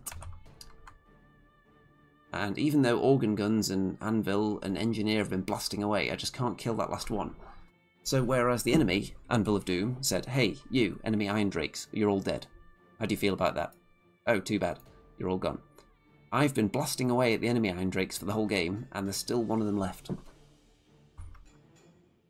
So obviously the Hammerers are reigning supreme in this battle, killing loads of Longbeards, not losing too many in return. And there is a challenge there as well, which is why I've moved one of my Hammerers around the back. And finally, the enemy gyrocopter kills my organ gun. So we'll see whether... Uh, oh, actually, it pursues off the table. So it's gone for now, and then it'll come back on in a minute, I think. And on to turn 5 for me. So you can see that my surviving Iron Drakes have come over here to shoot up the enemy rangers a bit. And the Hammerers and the Slayer completely obliterate the Longbeards, so there's only one left in the unit which is denying me a load of points. So I need to chase down that guy and kill him, and the king as well. My anvil kills off, finally kills off the final Iron Drake, I think. And the Hammerers are just running for the hills, and I can't finish them off, unfortunately. I think this, this is my last chance to kill them, because they'll just move out of range now with the organ gun, and I killed one. Very disappointing. So, the Slayer actually overruns, these guys don't. So, here is my thinking. This is quite a complicated situation. If the Iron Breakers charge into the Slayer, their overrun would get stuck by this guy, which would go into the Hammerers, which would mean that they would then be striking first against the Hammerers next turn which would be bad because the Hammerers are down to their front rank, so any losses are going to mean loss of attacks at this point. And it's yeah, it's interesting because if they charge the Slayer in such a way that they line up here, which they can't, but if they could end up that way, which I think would be only if they rolled. There are situations where if you roll a sufficiently low charge, you end up in a position that's actually favourable because you end up with less models contacting. This isn't one of those situations, but if the Slayer kills this guy, which would give me loads of points for the unit, but that would mean that the Iron Breakers could then overrun the Slayer because they only have to charge him up to here to get the maximum number of models into contact with him. So if the Slayer kills him and then the Slayer dies and they overrun into the Hammerers. So it could be a weird situation coming up. So you can see it illustrated here. Because that's the spot they have to be in to maximize the number of models in combat. So if he dies, suddenly the space opens up. If he doesn't die, then they're stuck there, which is kind of interesting. And the enemy gyrocopter getting behind my lines don't like that, trying to finish off these two units, no doubt. And the enemy anvil kills a few hammerers because they're not in combat this turn and the Slayer does get killed, but does not take down the the Longbeard champion with him. So here's my dilemma now. Do I charge here? They are very likely to flee. If you flee, you go through your own unit and do not get caught. However, dwarves have minus one to their flee distance. So, what could happen is that they roll a double one, meaning they only go one inch. So the king then gets stuck, maybe just in front of this unit, so that I would actually catch him and kill him. So there is a risk attached to doing that. I think this guy would, even with one inch, would bounce straight through them. But if they're the same unit, do they... They're still in the same unit, aren't they? Yeah, so that's weird. So I think they would just bounce straight through if they flee, which would then put me into the Iron Breakers. If they don't flee and they hold, they're protecting the Iron Breakers, though, for a turn. What would you do in this situation? So, let's find out what happens. So I do charge in, and they choose to hold and not flee. Now, I think fleeing would have been a better choice there. I think it would keep them both alive yeah, this is on my turn six now, and I do actually kill the king in combat, and then this guy falls back or it maybe gives ground or falls back in good order, either way. And I do not follow up because I don't want to contact the Iron Breakers. I want them to charge me, perhaps, and give me extra attacks, or maybe... Yeah, it's a weird... I can take that movement tray away now, surely. The enemy anvil... Uh, does it kill anything? I don't think so. I'm trying to see if any more stuff dies. Oh, look, we have got a picture of the combat resolution counter now. And a draw there. Uh, yeah, that's the end of the game. So I didn't have to worry about overrunning into the Ironbreakers because it, the game was just over. But I did kill the enemy king, but not the final Longbeard, so that deprived me of a load of points. So surely you would think that these hammerers charging in, doing the final wounds on the king, would also kill the Longbeard champion. But alas, they did not. And that denies me a huge amount of points. Let's see how many points for that unit. They are 303 points, the Longbeards. So I think do you get a third of the points if you only kill under 25%?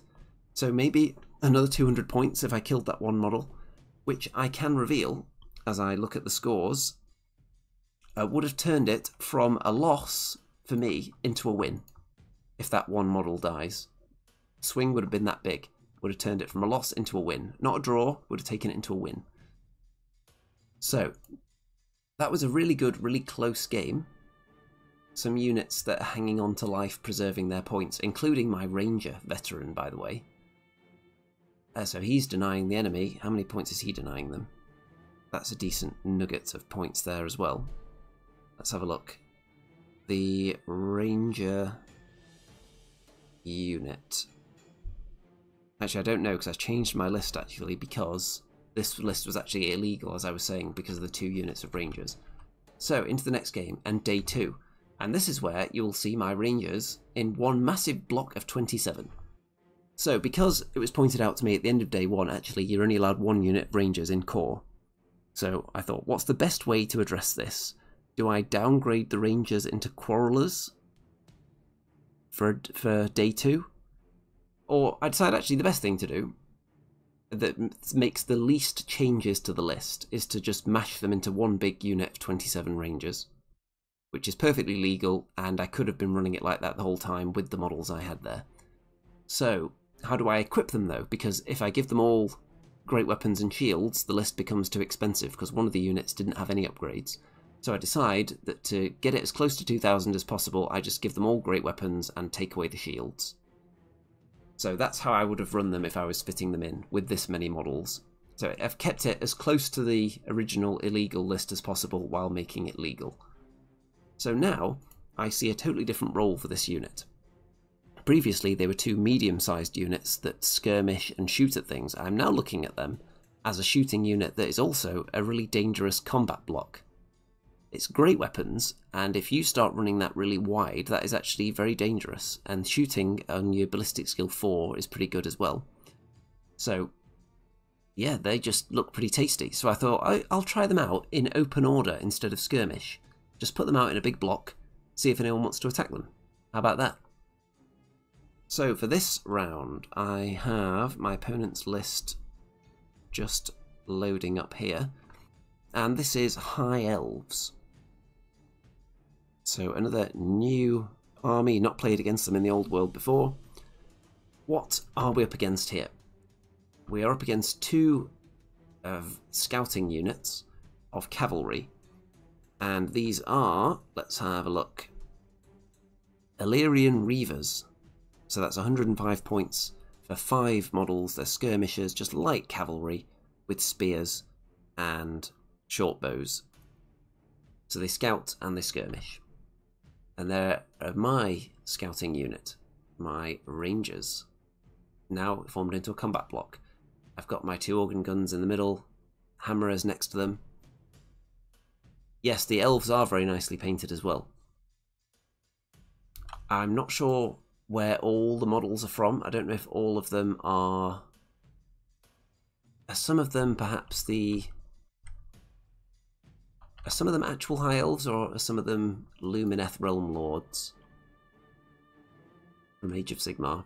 So it's a nice action shot over the top, pre-game shot. And these archers here are Sisters of Avelorn, so they're a rare unit choice, and they are pretty good at shooting with their bows. There's another unit of those somewhere as well in there. Now, this unit here, that is 18 Phoenix Guard, which people will remember Phoenix Guard from back in the day being quite a good combat unit. And they have a really good ward save against flaming attacks. So the Iron Drakes dish out flaming attacks. So that's something to think about. Then there is 19 Lothern Sea Guard, which are the hybrid shooting and spear unit. So I remember them being quite good as well. So those two units are about 300 points each, those two big fighting units. They're good. There is a level 4 Archmage around here somewhere as well. I think it might be in... Is it in this unit or this unit? I can't tell. It's in there somewhere. The Archmage. I think it's in the Lothern Sea Guard. And there is a Prince on a Star Dragon as well. That's 492 points of flying, hard to kill toughness. Talisman of Protection, Pure of Heart, Seed of Rebirth. So, really good save, regeneration, ward save, all that stuff. The kind of thing that people are stacking onto the big flying monsters. They can fly around and cause absolute havoc in the old world, which is the seems to be emerging as the meta right now. That can always shift, and if people start coming up with good ways of countering it, uh, I think that kind of thing would have always been good in Warhammer if it weren't for cannons being so damn good with doing d6 wounds. So cannons were really what kept big monsters in check back in the day. And by in check, I mean it made them really bad. So Terrorgheists would just be gunned down in turn one, guaranteed, if they didn't hide. And it wasn't it wasn't what you wanted to see, really. It was obviously fun for a dwarf player to just kill the biggest thing on the table immediately, but people didn't take a lot of them because cannons were a thing and you'd just die. So you weren't going to have fun doing that. But now, big monsters back on the menu, that's kind of what we want to see. People just need to have other ways to counter it. And the ways that we have currently, like the Trollhammer torpedoes, for example, doing their D3 damage, strength 8 like a mini cannonball, and bolt throwers, not as long a range as cannon, and they don't do as much damage as the cannon used to. So a bolt thrower does two wounds. So multiple bolt throwers is obviously a threat, but they do have not the greatest ballistic skill, and they'd be firing at long range. So currently the meta demands level 4 wizards if you can take them, and big flying monsters if you can take them. There is a repeater bolt thrower as well. My gyrocopter has moved up. I'm eyeing up charging that repeater bolt thrower with a gyrocopter. I think that's a good target for me because the crew in combat will have a really hard time wounding this thing and I'll do impact hits and I think I can do a good job on it that way. Turn one, so the elves go first. So they have a a, a buff put onto the Lothern Sea Guard and then a teleportation spell now this moves the unit and uh, possibly the wizard out of my dispel range now. And they were out of it at the start of the game anyway, because I have to be 24 inches away with the anvil.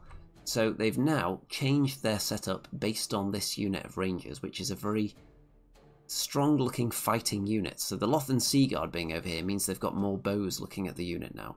So they're obviously picking this unit as the unit to be killed. Oh, by the way, if I didn't mention it, it's because it's mostly irrelevant. This bit of terrain in the middle is kind of what we're fighting over, allegedly. You get, I think it's 150 points at the end of the game if you're controlling it, which is. It's not totally worthless. It can swing a game, but it's really not significant as far as scenarios go. You're much better off trying to kill things, and then towards the end of the game, if you've got the units nearby, then go for it. Or if you've got a unit that's put out of the game early because they're low on models, for example, and they could hold it, it's really more of an afterthought in the game, and it's just a big thing in the middle of the table to block lines of sight. So now that they've moved over there, that also, let's have a quick look at the wide shot again, so I'm going to just go back here. So, my organ guns were hoping to shoot the Lothern Sea Guard, but now they've teleported away. And that's why I've put them here. Because I don't want line of sight to the Phoenix Guard, particularly because I'm not going to be concentrating my shooting efforts too much on them and when they want to fight me, they'll have to come round the sides anyway. I want to shoot off the things that are more likely to be killed because, like I was saying, these guys got a ward save and it's even better against flaming attacks, which the Iron Drakes have. So my shooting attacks are going to be better focused. If I'm going to focus fire into some of the other units, like the Sea Guard early on, I feel, which is why I've got my gun line positioned here. But now they've just zoop, teleported over to the other side. So that's not very sporting of them, is it? Tricky high elves with their sneaky ways. The Ellyrian Reavers are moving around to flank my rangers, which I'm not overly concerned about, but maybe I should be. Because I'm thinking, here come a lot of strength 3 shots that aren't going to wound me very much, but we'll see how it goes. The dragon decides, I'm just going to stand right in front of you immediately. Your gun line can have one turn to shoot me, and if you don't kill me, I'm going to eat things. Probably going to start with a light snack of Thunderers or Dwarf Warriors following up into the Anvil, that would be a, a good choice. Or you probably wouldn't want to charge the Iron Drakes because their standard shoot is very dangerous. But if you charge something over here, you can then be getting into the flank of some of my units like the Hammerers. Now, as I was saying earlier though, a big monster fighting Hammerers isn't ideal because I can just keep feeding it one guy a turn. And maybe if you're in the flank, that's slightly better because you're more likely to win the combat by a higher margin so you're more likely to make the hammerers break, but they do have shield wall and stubborn, so they're quite resistant. Now the shooting is actually very powerful, and look at all these dead rangers. So I think I've underestimated high elf shooting there. I think they just have good ballistic skill, even though it's probably strength 3, mostly. The repeater bolt thrower does some damage to the gyrocopter, which isn't nice. Uh, did I mention there was a great eagle? Well, there it is. And it is a very large eagle. So because this dragon is about to charge me, this round the anvil is going to be using its rune that's going to give me an aura bubble of immune to psychology. So no one's going to run away from the dragon. So that's what I do. And you can see I'm using this square-based complementary front arc measuring device, which came in our little goodie bags for the event at the TSN Arena. And I do absolutely nothing to the Lothern Sea Guard with my shooting. And then I decide, you know what, this dragon may have a good save, but I've got loads of armor bane, and I'm going to try and kill you. So everything fires into the dragon, and I do one wound. Wow, wow, wow. So at that point, I then felt, really, I don't think there's much point shooting my final unit into the dragon, because I'm not going to kill it now. So I then just try and kill the eagle and do a wound to that as well. So all that, and I do two wounds during the whole turn. All these guns, all these crossbows, all these Iron Drakes, Organ Guns, Thunderers, Anvil of Doom, Striking the Rune, all that, two wounds dished out during the turn. So obviously not good, but I did make a charge in on the repeater bolt throw with the gyrocopter, so that's a positive. Turn two for the High Elves. And I think this is Plague of Rust, taking away the armor save of my rangers with the spell. And the dragon goes for the juicy target of the Thunderers, who do not get to stand and shoot because it's too close. And he's obviously going to munch them. And the cavalry is surrounding my rangers still, which obviously isn't very friendly of them, and shooting them, and more are dying from the shots. And what's that? They're down to three because they have no armor saves now. Well, and down to one, in fact. That movement tray is looking very lonely for old Joseph Bugman, the ranger. So more shooting takes down a couple of Iron Drakes on the other side. And my Thunderer champion challenges the dragon to single combat. And he's going to get eaten and stepped on and overkilled, obviously. And then they fall back in good order and get pursued. So still holding them up. And now I've got the opportunity to charge a Dragon Slayer into a dragon. So we've got some excitement coming. The gyrocopter is still battling with the bolt thrower for some reason. I haven't killed it. And what is my plan now? This ranger is just going to run away and hide and try not to die by the end of the game, so I don't give away too many points. Going to charge the dragon with the Dragon Slayer, and I'm going to start shooting and try and kill things. Obviously the organ guns could make potentially short work of these guys, but they are skirmishers so it's minus one to hit them.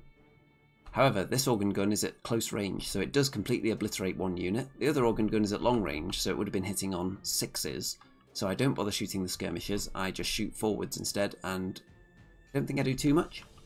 The Thunderers lose the combat, and the Slayer. So the Slayer got eaten, and didn't get to strike, didn't do anything with his death blow, and then the Thunderers ran off the table. Wow, wow, wow. The dragon restrains, and I think it turns as well.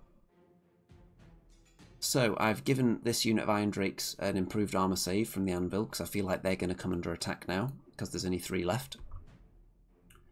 And the enemy are moving forwards a bit. My one ranger gets behind there, with Plague of Rust still on him. That'll go away shortly though. And the dragon is now looking down my flank. So, there's a very strange situation about to come up. See if you can guess what it's going to be. Here we go. Okay, first of all, the gyrocopter gets killed in combat by War Machine crew, so that is the height of embarrassment. It's toughness 5 against these puny strength 3, toughness 3 elves, and somehow it gets killed. So there's my dead pile at the moment. It's building up. And I've killed a unit of Ellyrian Reavers, but not a lot else so far. I've killed a few of the Phoenix Guard with shooting, though, which is good. And I think in the first turn, the Phoenix Guard made about 10 armor saves successfully, and then in this turn, they just failed all of them that they had to take, so some of them are actually dead now. Turn 3 for the Elves. So, the other Ellyrian Reavers charge into the Organ Gun. The Dragon charges into the flank of the Hammerers. What bizarre situation can you foresee coming up here?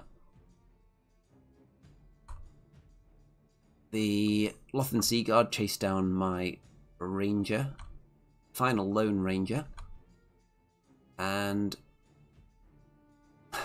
so, the wizard uh, has a calamitous detonation in his own unit after a miscast and kills a load of them. But doesn't wound himself though, so if I was the wizard in that situation, I would be feeling pretty guilty about now. The spell that you've just tried to cast badly has blown up and killed a few of your best friends, but you're untouched. So they now are over here. I don't know if they teleport there with a spell. But if you're looking at this whole area, the strange thing that's going to happen is imminent. So two organ gun crew get killed. The eagle charges into my five dwarf warriors. That's going to be a fun fight. Now then, you may notice that the hammerers are now here. They have not teleported. So, the strange situation that came up is after combat against the dragon, the hammerers fell back in good order, which means that they go through units and bounce away. They do not stop. If you fall back, you would stop here on the organ gun. And because of the stubborn rule, I did have the option of falling back, which would mean I stay there and fight the dragon, because I can't really reform, because the Iron Drakes are in the way and there's all kinds of stuff around here. Not a lot of space. I could stay there and feed the dragon one hammerer a turn and hope I don't fail my leadership test, because I'm still going to be hitting the flank and there's going to be lots of overkill each time. So I decide instead that my hammerers are really my only unit left that's going to kill anything.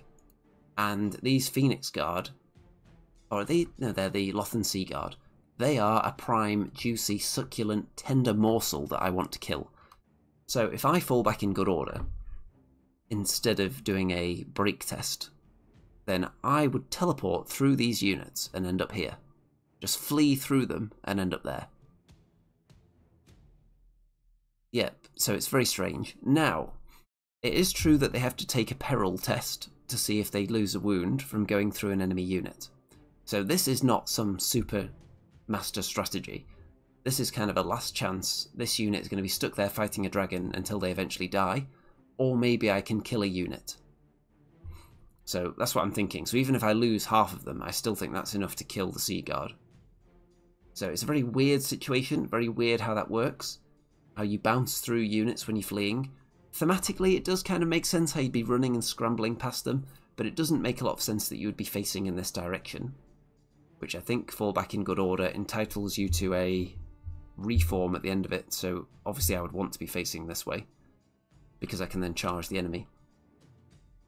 So yeah, because it's my turn next, so I'm going to be able to charge them now, which is really weird. So we'll see how many of them die from taking the peril test, but say for example they weren't there, and you have a really long line that gets flanked. You fall back in good order and just bounce through your entire army. Very, very weird. And I don't know whether the rules writers would intend it to be that crazy. It's a rare situation that's going to come up like that, but it will happen. So it's good to know that that's how it actually works. If that's incorrect in some way, then I'm sure there will be comments to that effect. So, one of the organ guns, as a result of the hammerers fleeing through them, fails a panic check and runs away. And because it flees, it automatically dies because it's a war machine. Then the hammerers lose. We haven't got to the picture yet. There's the dragon pursuing. The Hammerers then lose seven of them. The BSB takes a wound as well.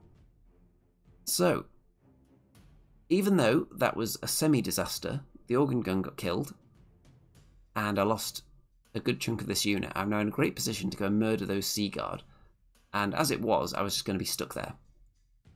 So I'm not that disappointed. The dragon is also now out in the open for me to spin round and trollhammer torpedo it in the face with two Iron Drake units.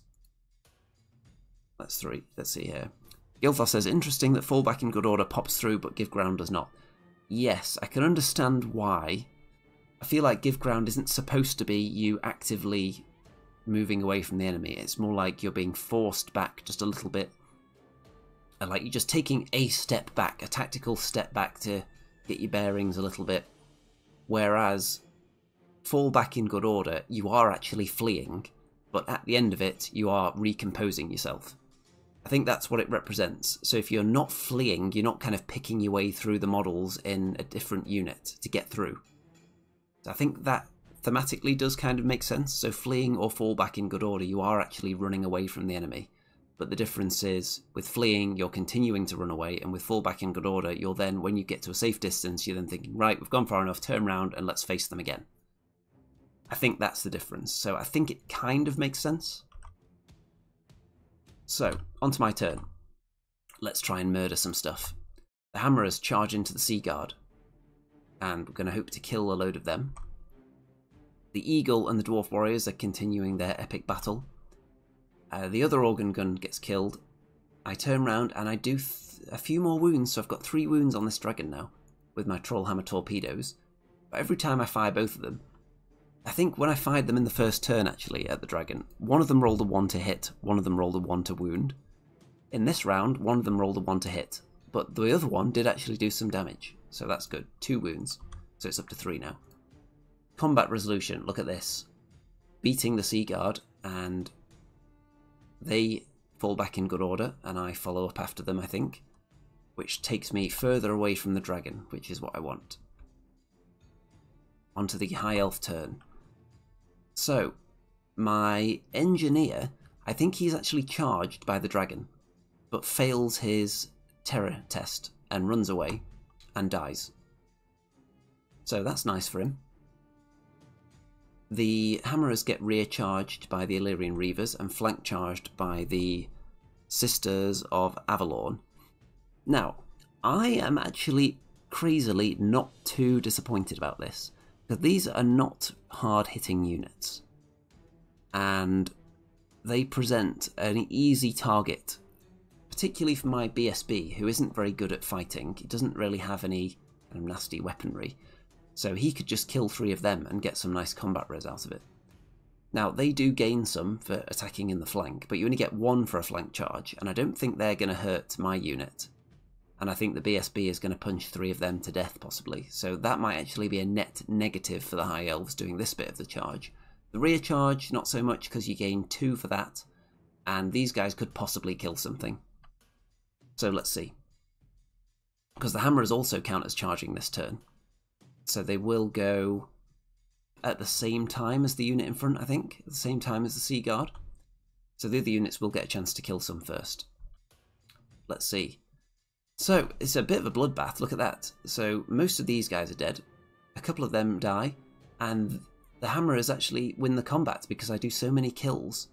So I kill most of the cavalry, the BSB kills a few of them, and I kill a load of these guys as well. So, here's a really interesting point.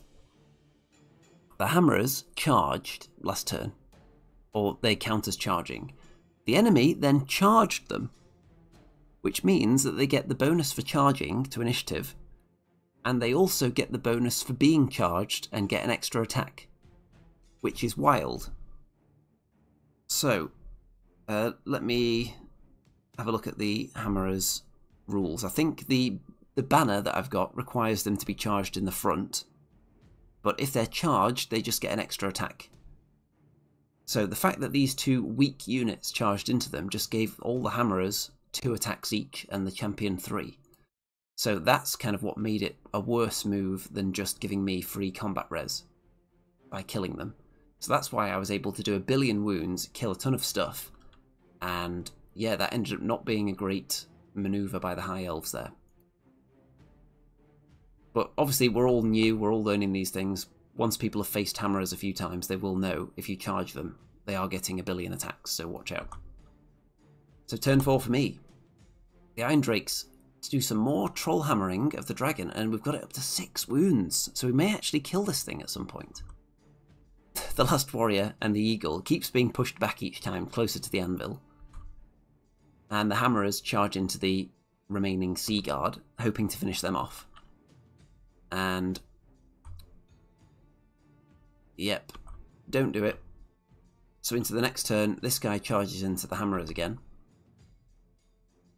And the dragon also charges, but I don't think the dragon reaches them. I think it's one inch away, which is very important. So then in combat, I then murder everybody's face, apart from this last guy who's running away and that's going to be points for the cavalry, but not points for him, so I need to kill him before the end of the game to get a load of points. And the eagle's still fighting, I'm doing more shooting. Onto my turn 5 though. So the eagle kills the dwarf warriors. The troll hammers do not kill the dragon, sadly. And the dragon is then able to charge me. And we've just had a very kind donation in the chat there. So you know what? I'm going to hit like on it and see what that does. There you go. I think that's a new thing they've added. I don't know if you could like donations before, but thank you to Gilthos. And obviously, if you want non-stop action, non-stop battle reporting, tournament reporting action from the old world and various other game systems that just flow directly into your eyeballs and your ears via the internet, then why not pledge your entire life savings to me, which will give me like infinite tournament ticket admission price. Sounds like a good plan to me. So the dragon does make it after my hammerers in this turn. And the Phoenix Guard are just hanging out by the tower to get the bonus points, because they're kind of out the game now. There's nothing for them to do, because everything else has been so wildly successful. This guy runs away to preserve his points, and the dragon is going to hopefully mop up this unit. He's going to try to. I can challenge him to a fight and then be overkilled, but I'm still likely to run away off the table, sadly. The bolt thrower that's still alive, I don't think I actually damaged it with the gyrocopter, you know.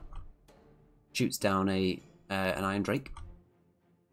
And more shooting kills off more Iron Drakes, and I think that unit's just dead. And the other unit, because the Iron Drakes near them died, they then fail their leadership test and flee. And onto my turn 6. So, the Iron Drakes roll a 10 on the leadership again and flee off the table. So nothing even attacked them. That's how brave they are. They just saw some other Iron Drakes get killed and run away, and then when they tried to rally, they also ran again. Now, I did make a mistake here because the anvil is right there, and that's my general in this army. So I think I could have actually re-rolled that test, but I didn't remember at the time, so they ran off the table. Then, okay, this is also hilarious. So, the dragon, challenged by the Hammerer champion, only does two wounds, the dragon. It has a really bad round of combat. Then I roll 11 for my leadership test, and then I roll 12 with the reroll. So I run off the table despite only taking two wounds. So I, let's see, what was the combat result there? So the dragon has a rear charge, which is 2, and did 2 damage. So that is 4, probably close order, so 5. I'm close order, banner and BSB, so 3. So I'm down by two. So hilariously, I fail both leadership tests and run off the table and die. Let's see. Also, they didn't need to roll panic test as the unit destroyed wasn't unit strength 5. If they'd failed, they'd have only fallen back in good order, reserve. They're only over half strength. yes, so that's another bit of the rules played incorrectly. So that's going to be good to know going forward as well. So, I yeah, I have been playing it correctly in that if the unit takes damage and they are still above half strength, they don't flee. I think I've been doing that correctly. But being set off by another unit, that was played incorrectly. So they should have just fallen back in good order because they're at they're not above or below half strength. So yeah, you can't cause a chain reaction of units running off the table. So they should be alive still. And by all rights, after that round of attacks from the dragon, they should get another chance to live, but no. So that's going to be the end of the game, and that is obviously going to be a loss. That didn't go very well, so where did it go wrong? Uh, the Rangers, I don't think, did anything. It was the first time I'd run them in open order as a big block, and I should have just put them somewhere else. And yeah, that wasn't a great spot for them. Could have done something totally different with them. Used them more defensively, perhaps. And the teleport spell obviously took the enemy out of range of all my dispelling for the whole game. And their shooting was just much better than I expected, and my shooting was very underwhelming. I barely did any wounds, too many misses in the first turn meant the dragon was able to get in. And the hammerers did a good job, they got some kills.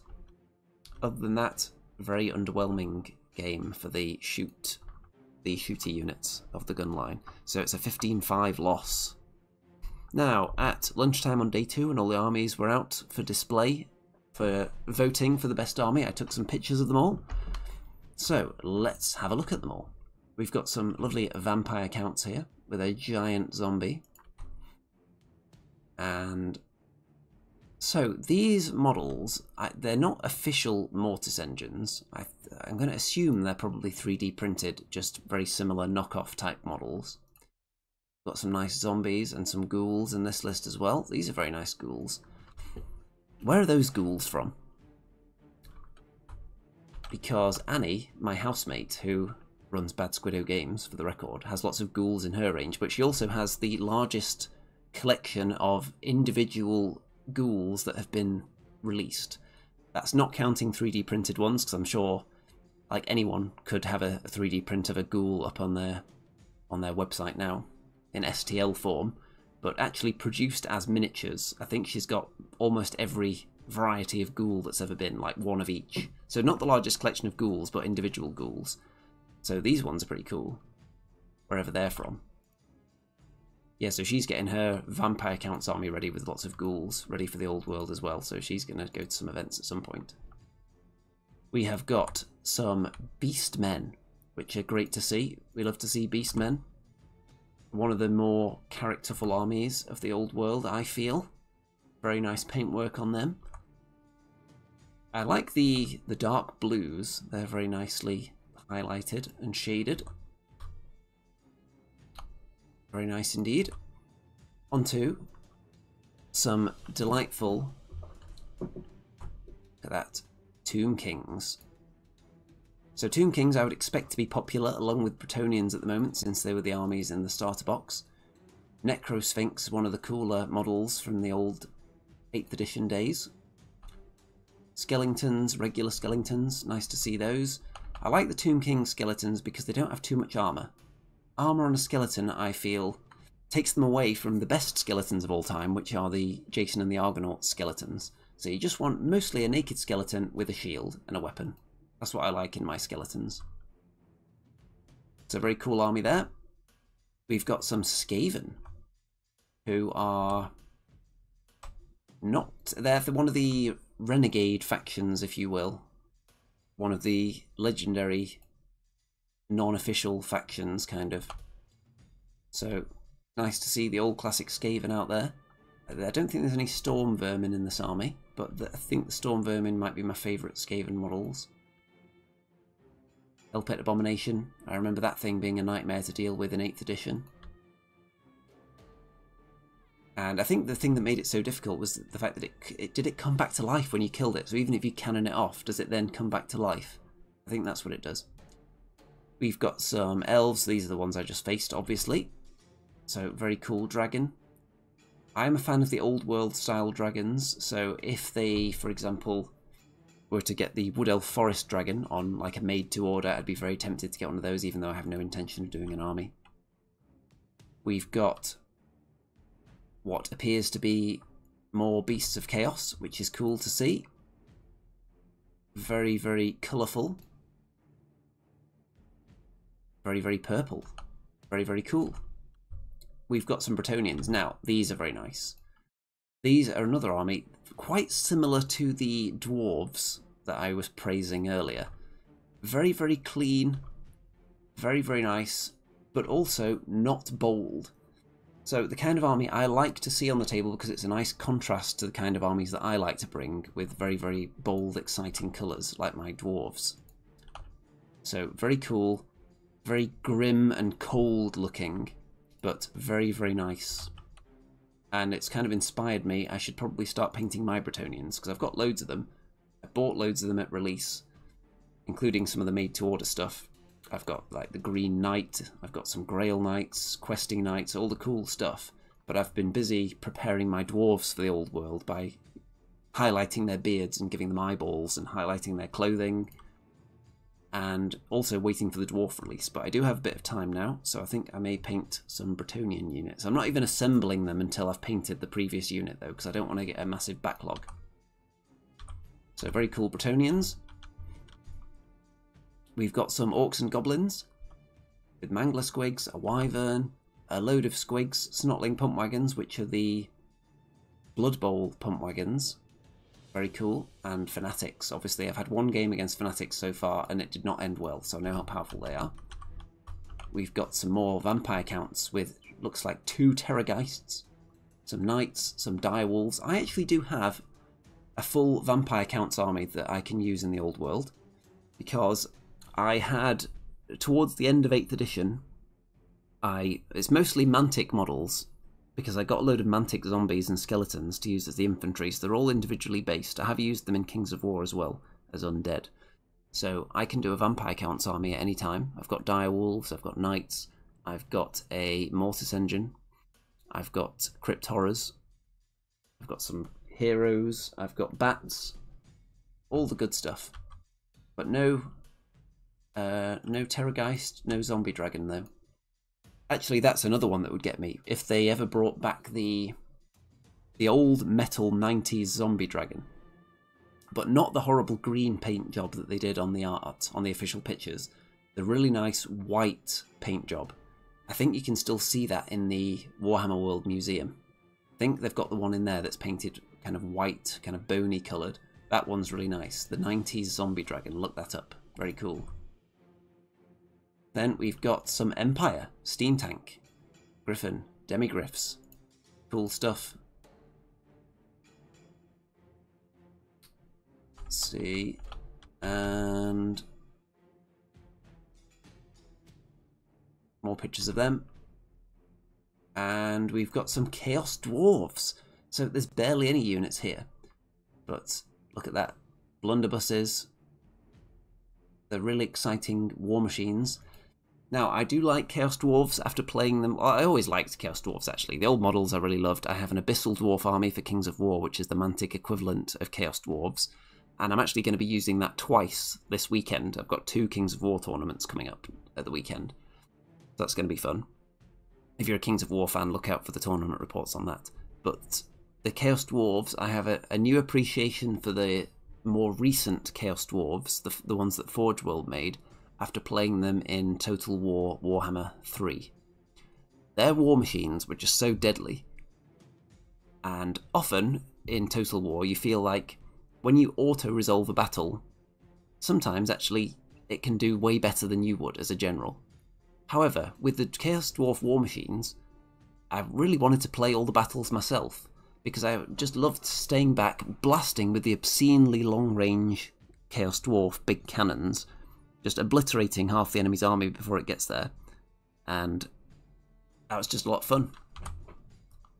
I am a Gunline fan, if you hadn't guessed. Then we've got these are the dwarves that I've taken some even better pictures of here, so you can see them in all their glory. Uh, this dwarf king here, I just painted mine actually, or I added on to the old paintwork, so it doesn't look as nice as this because I'm going over my old paint job. But you can actually see these close-up pictures, the actual silver highlights that have gone in here. So it's not just a very shiny metallic paint, there are actual highlights that have gone on there. And it's the kind of highlights where, where you get really, really close zoomed in, you think, what's that colour doing there? And then you pull back and you think, oh, I get it. It works. So you have to have some good painting skills to know precisely where to put the to put the highlights. So up close, uh, it looks weird when you're applying them, but then when you hold it at arm's length, suddenly that's where it should be. And to know where to put those is a whole skill in itself. We've got some more high elves by the looks of it here. And these are definitely Age of Sigmar models used as high elves. We've got some more vampire counts with big blocks of skeletons. That's really cool. I think that is an official Mortis engine there as well. And yeah, there it is with the legendary necromancer himself, old Heinrich. Very cool. I used to like the what was it called? The fear bomb back in the day uh, with the vampire counts where you would take the spells to like reduce enemy leadership and then put all fear causing units on them and then like scream at them with their lower leadership and then put them against skeletons and get them to fail their leadership or fail their fear test and then you, they're down to weapon skill 1 I think back in 8th edition. So that was a thing that existed back then. We've got some ogres on round bases. I assume they've got some trays as well that aren't in this picture. But nice to see ogres out there as well. Always cool. And some more Beastmen. So wild we're seeing so many Beastmen. You know, I really like Beastmen ever since the White Dwarf series of articles. The I think it was the original Tale of Four Gamers they did, where one guy did the Beastmen and they just looked really cool and they were kind of the underdogs because he seemed to build like a way less efficient army than everyone else and spent money on things like conversion parts, so just had less stuff in the army and Beastmen have just never been a particularly strong army, at least while I've been playing. In fact, when I was playing back in the day, they weren't even their own army, they were just part of Chaos. And then when they split them out into Beastmen, Beastmen and Chaos Warriors and Demons, before they were Warriors of Chaos, when they were just Chaos Warriors, uh, that's when I started my Chaos Warrior army. So I didn't get the benefit of having Beastmen in the army, but you could have Dragon Ogres in the army. So I did have a Dragon Ogre, the old metal ones, not these ones. Let's see, apparently Beastmen were very strong back in 6th edition, according to Visibly Riley. Nice, it's good that they had some time in the sun. I never really played against them back in the day. I just admired them from afar. And there's the Warriors of Chaos army that I played against earlier, which is very chunky Chaos Dwarf style models. And we're on to the last game. I'm against Orcs and Goblins, so the Squig Heavy army. And what kind of fiendish plan have I got on my sleeve here? Because I've already lost heavily to Orcs and Goblins in a practice game. Obviously my list is different now. So I'm going to go through the list. Let me pull it up here. Okay. So let's go through the Orc and Goblin forces we have two Mangler Squigs, which have random move. So the reason a random move is scary is because Iron Drakes can't stand and shoot even at point blank range against random movement. Because it's not done as a charge, it's just a movement before the charge, so you can't declare charge reactions. So I can't do any standing and shooting against them. And looking at the list here, Mangler Squigs are only 95 points actually. That's very cheap. But then again, they do only have 4 wounds, so I can kind of understand that. Then we've got a Wyvern. So this is a Black Orc War Boss on a Wyvern with Trollhide Trousers for regeneration. And 322 points, so it's probably not going to be as scary as one of the big dragons, but still significant flyer. We have two units of night goblins. One's got a shaman in there, and the other one's over here. So the shaman, let's see what he's got.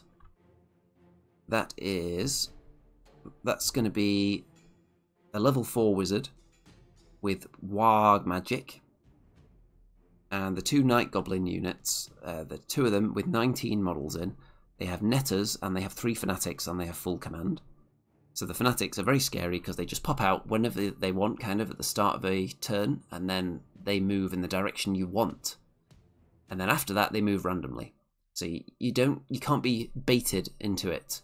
Well, you can kind of, but you still make the choice. It's you that's being baited, not the unit. Back in the day, it used to be whenever you moved within range, then the Fanatics would fly out automatically.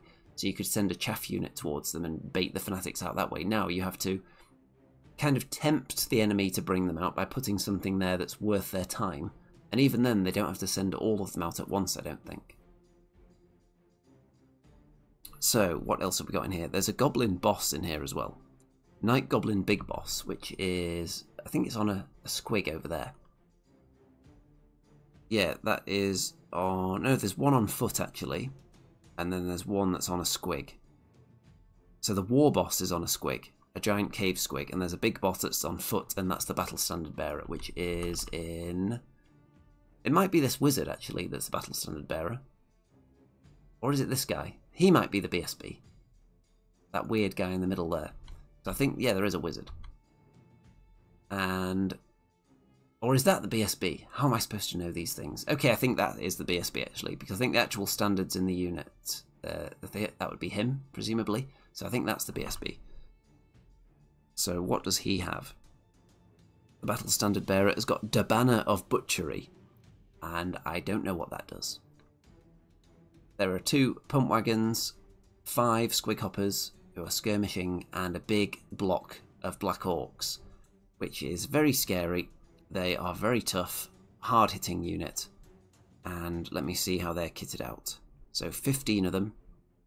They're full plate armour, which is good. They're stubborn, they have additional hand weapons for extra attacks as well.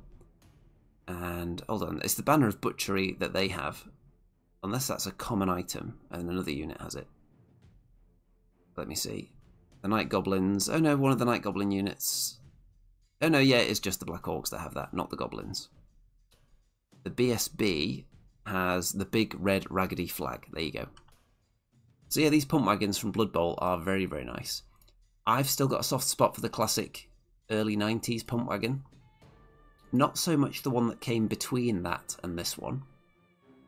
I think I prefer the early 90s one or the Blood Bowl one. So, what's my plan? The gyrocopter out on the flank. Black Orcs don't want to, want to spend their time chasing down the gyrocopter, so it's really there to get in their way or dance around them and maybe block things up. There's a lot of random movement here. I haven't talked about that squig herd actually. I think that's the last unit I haven't mentioned. So there are, I think it's two squig herds, or maybe they're just one herd that are just down in the list as two units. I think it is just one big block of a squig herd there. So it could just be a mistake in the list. So my plan, shoot them to death. I've got my gyrocopters in the the forest, which is dangerous terrain. So if they want to come in here, they're going to have to take the test. Got the anvil in there. So this is my classic setup, it seems, with the engineer in there as well. Hammers on one side with the, the Iron Drakes in front and my little chaff unit on the other side with the Slayer and the Thunderers on a hill looking in. My Rangers and their massive block are over on the other side, staring down the two Mangler squigs. So I think this massive wide block of Rangers in open order, so they can all be in the fighting rank, firing off like 15 shots into the enemy is going to be great. And then in combat, when they get charged as well, they will be able to hit back and do some serious pain. So let's see. The random movement is indeed random, which is why you'll see these units having vastly different uh, places on the table. So the two manglers moving into range. I put my rangers in a position where if I went first, I would be able to shoot, but it's right at the outer limit of their range. So now I've got 15 wide here, so I'm going to be able to shoot with 15 shots into one of them and try and kill one before I get charged. Over on this side, the Black Orcs moving up behind the Squig Hoppers, and the Goblins are being fairly hesitant. The Squig Herd is rushing out in front, and I think if the Squig Herd breaks, then it kind of explodes and does damage to nearby units. So let's see what happens. Oh, we've got a nice action shot. This is the last time you'll ever see the Anvil crew, or the, the Rune Master and the crew, with golden horns. I'm actually going to paint those in bone colour, those horns, when I put it on its new green base. So enjoy looking at the gold while you can. I'm doing all the horns in the army as actual horn coloured. It just adds a bit more variety. And there it is. So onto my turn. So turn one, the gyrocopter moves up into the flank and guns down, or tries to gun down some of these guys, but I don't think the clatter gun actually does anything. The, the organ guns and the anvil actually do some good stuff though, and clear out most of that unit of squig hoppers. The thunderers and the iron drakes do a load of shooting as well, and they clear out a massive swathe of the squig herd, and I think I'm about to sneeze.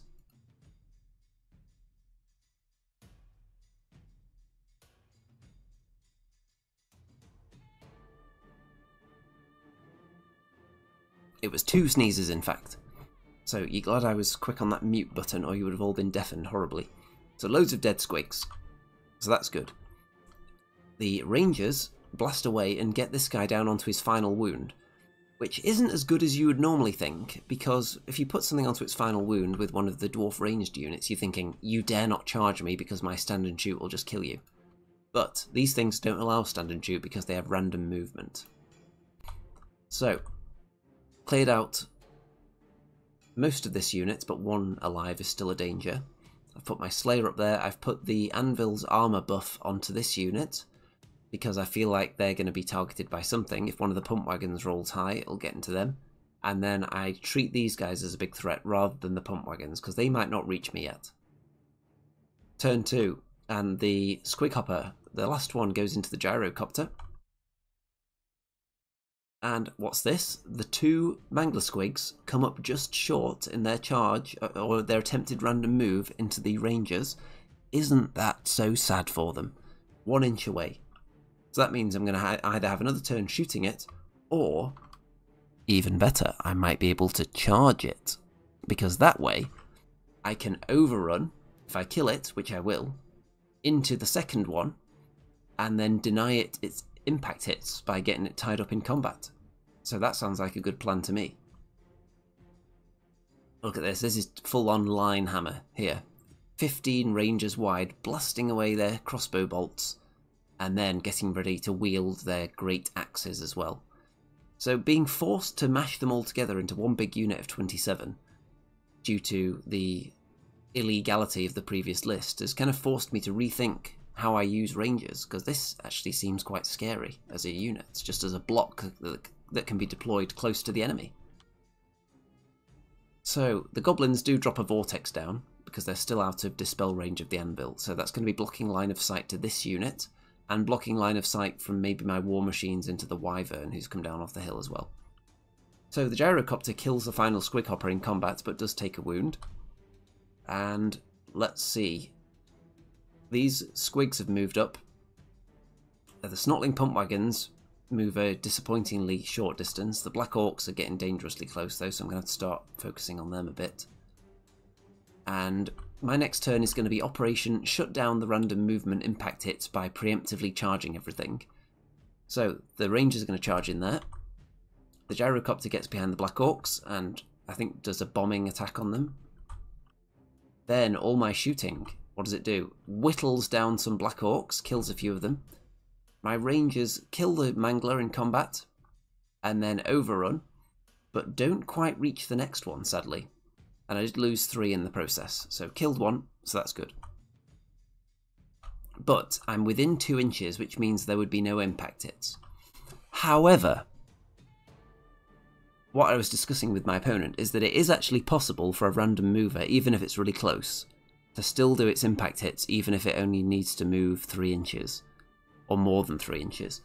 Because since you're moving randomly, you're not actually going straight into the enemy. You can just turn and go like all down here and hit them there, and then that is this, then treated as a successful charge of like 8 inches. So you then get your impact hits. But my opponent was saying, no, I don't want to do that. I don't want to do it that way. I think that's a bit cheesy. I don't think it's designed that way. So that might be one for an FAQ. Or maybe an errata, because as it is now, you can use your random movement to like move around and get into enemy flanks. You can use it if it's I don't know if you can like jump over them, but if you could reach, you could get around the back and fight them that way, and it just counts as a charge if you hit them. Because you're not moving necessarily in a straight line with random movement, that's just how far you can go. So, I think my opponent is correct in that you would think that intent would be the distance between the two points. But then, if you're touching down there, that is how far you've gone. So yeah, maybe they would make a change where it's if you're your random mover, the distance between that and the unit that it eventually contacts at the start of the move, that is considered the distance you moved for purposes of determining whether you get your impact hits or not.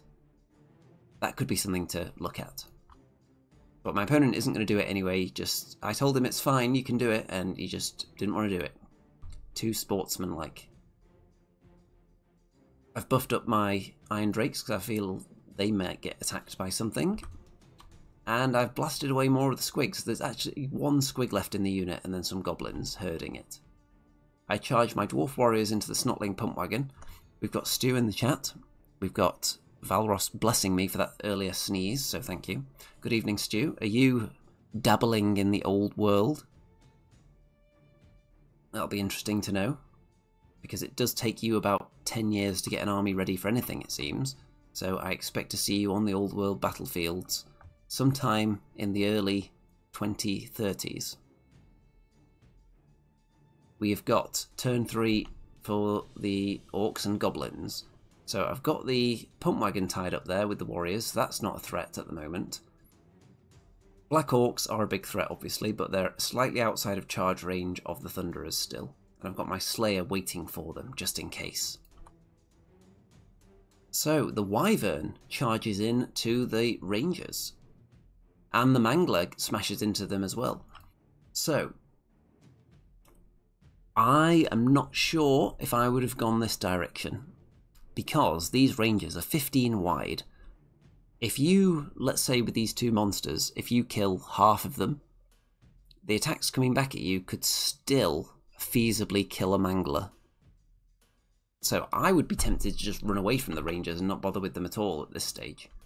But if you're confident you can do enough wounds, Let's see. Stu says, How dare you, sir? You finished four 40k armies in the last three years. So you're really good at finishing armies for the one game system that the world doesn't care about. Or at least the world on this channel. 40k hasn't really grabbed me, although I have been sorely tempted because those new Dark Angels are very nice, but there's too many game systems. Not in terms of playing, because I would happily play 40k. It's just in terms of buying more models. I just don't have unlimited funds, unfortunately. And since dwarves are coming soon, that's going to be a big, big wound to my wallet as well. I've got loads of Bretonnians, I'm keeping up with my Kings of War armies. I've uh, backed the Mantic Epic Warpath Kickstarter as well, so that's going to be fun. And The Walking Dead has been re-released as well, so I'll be spending money on that. Okay, so how do we think this combat's going to go? We'll find out shortly. By the way, I'm going to tell you now that throughout this whole game, we both entirely forget that we have hatred against each other's armies. So we do not do any hatred at all during the whole game. Which I guess you could say benefits me, because the dwarves are mostly shooting and the orcs are mostly in combat, so they would really like to have some hatred. The squig herd, it's not really a herd, it's more like herders and then their one pet make it into the organ gun, which is not nice and the boss on the squig and the pump wagon are fighting these five warriors. But you can see that comically, uh, the pump wagon and the war boss lose, and the war boss falls back in good order all the way back there, I think. So I think if you fall back in good order and you have random movement, does that mean that you use the random movement to do it? I don't know. Uh, yes, only the Night Goblins have hatred yes, that is an important thing to clarify. Some of the units, like the Black Orcs, do not have hatred. I don't know about. I don't think the Wyvern does. Does the Mangler? I don't know. As the Black Orcs march up, and they're now in range to attack the Dwarf Thunderers. So visibly Riley. While dwarfs hate all greenskins, only night gobos hate dwarves. I would say that is actually fair. As weird as it sounds, it sounds like imbalanced in favour of the dwarves. But the dwarves are mostly shooting anyway.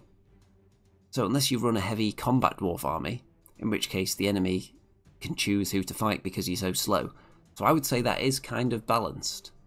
Because the dwarves mostly want to shoot you to death where hatred doesn't apply. So I could have had a lot of rerolls. Combat resolution. The Rangers lose a few models, but not many. This this Wyvern had a horrifically bad round of attacks. And we draw the combat, but I have a musician in this unit, even though it doesn't look like it. So, I think that's... Is that actually a musician there? I can't tell. Or it might, might just be the pattern on the table. But there is a musician in there somewhere. So I win the combat. The Mangler's dead. And I pursue after the Wyvern, but don't catch it. Yes, random move. Whenever a model with the special rule moves for any reason, roll the dice to determine how far it must move. Yes, so even if you fall back in good order, you still move your random distance. So it's my turn next. This Black Orc unit is a danger, but I do have a million guns pointed at it. Maybe not the organ gun that's in combat, but everything else. So, in fact, that organ gun's dead, and they overrun into the engineer, so they can have a good time fighting him. So this unit that by all rights, should be dead. Look at that, there's only one squig and all the goblins poking it forward with their sticks. Then they're now onto an engineer. So the fanatics are out. Fanatic towards the Iron Drakes doesn't reach them. Fanatic towards the Rangers doesn't reach, and the other Fanatic rolled a double and just killed itself immediately. Let's see, Stu says, fair play, there's never enough time and hobby funds. No more 40k armies for me. My project this spring is Old World Norskins. That's going to be interesting to see. What miniatures are you using for that? Yeah, I would really love to get the new Dark Angels. And I will do one day. Because Dark Angels are my 40k army. And I think they look very cool, the new Terminators. So I'd love to get another Deathwing army in the new extra tall scale one day. Just don't have the funds. We've got Annie from Bad Squiddo Games in here, who did get a shout out earlier as being a, a ghoul fanatic, as we were looking at some very nice ghouls. So, let's move on to my turn now. So I'm gonna, this thing is actually running away by the way, it didn't fall back in good order, it's fleeing, the model just hasn't been turned round. So, my rangers are to try and charge this guy. I'm not really thinking I'm to catch him. I'm really thinking that if I charge him, he then flies away because the bows are the crossbows are probably not to kill him because he's got some he's got regeneration, he's got a really good save. So I'm just to charge him, make him fly away even further, so he's really far away from me. That's my plan. So, what's this? Black Orc's been shot to bits by all my guns and then ran away like cowards. So the models aren't facing the right way, but they should actually be fleeing right now because they have suffered enough casualties to actually... Have they suffered enough casualties to actually flee? Or have they just fallen back? Is it under 50% at the point at which you can flee from taking damage? From shooting, I mean. So, the, the Dwarf Warriors are continuing their attack into the Goblin War Boss on Squig.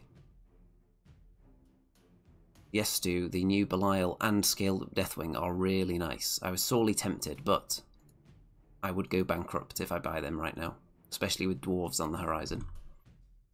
And we've got the gyrocopter.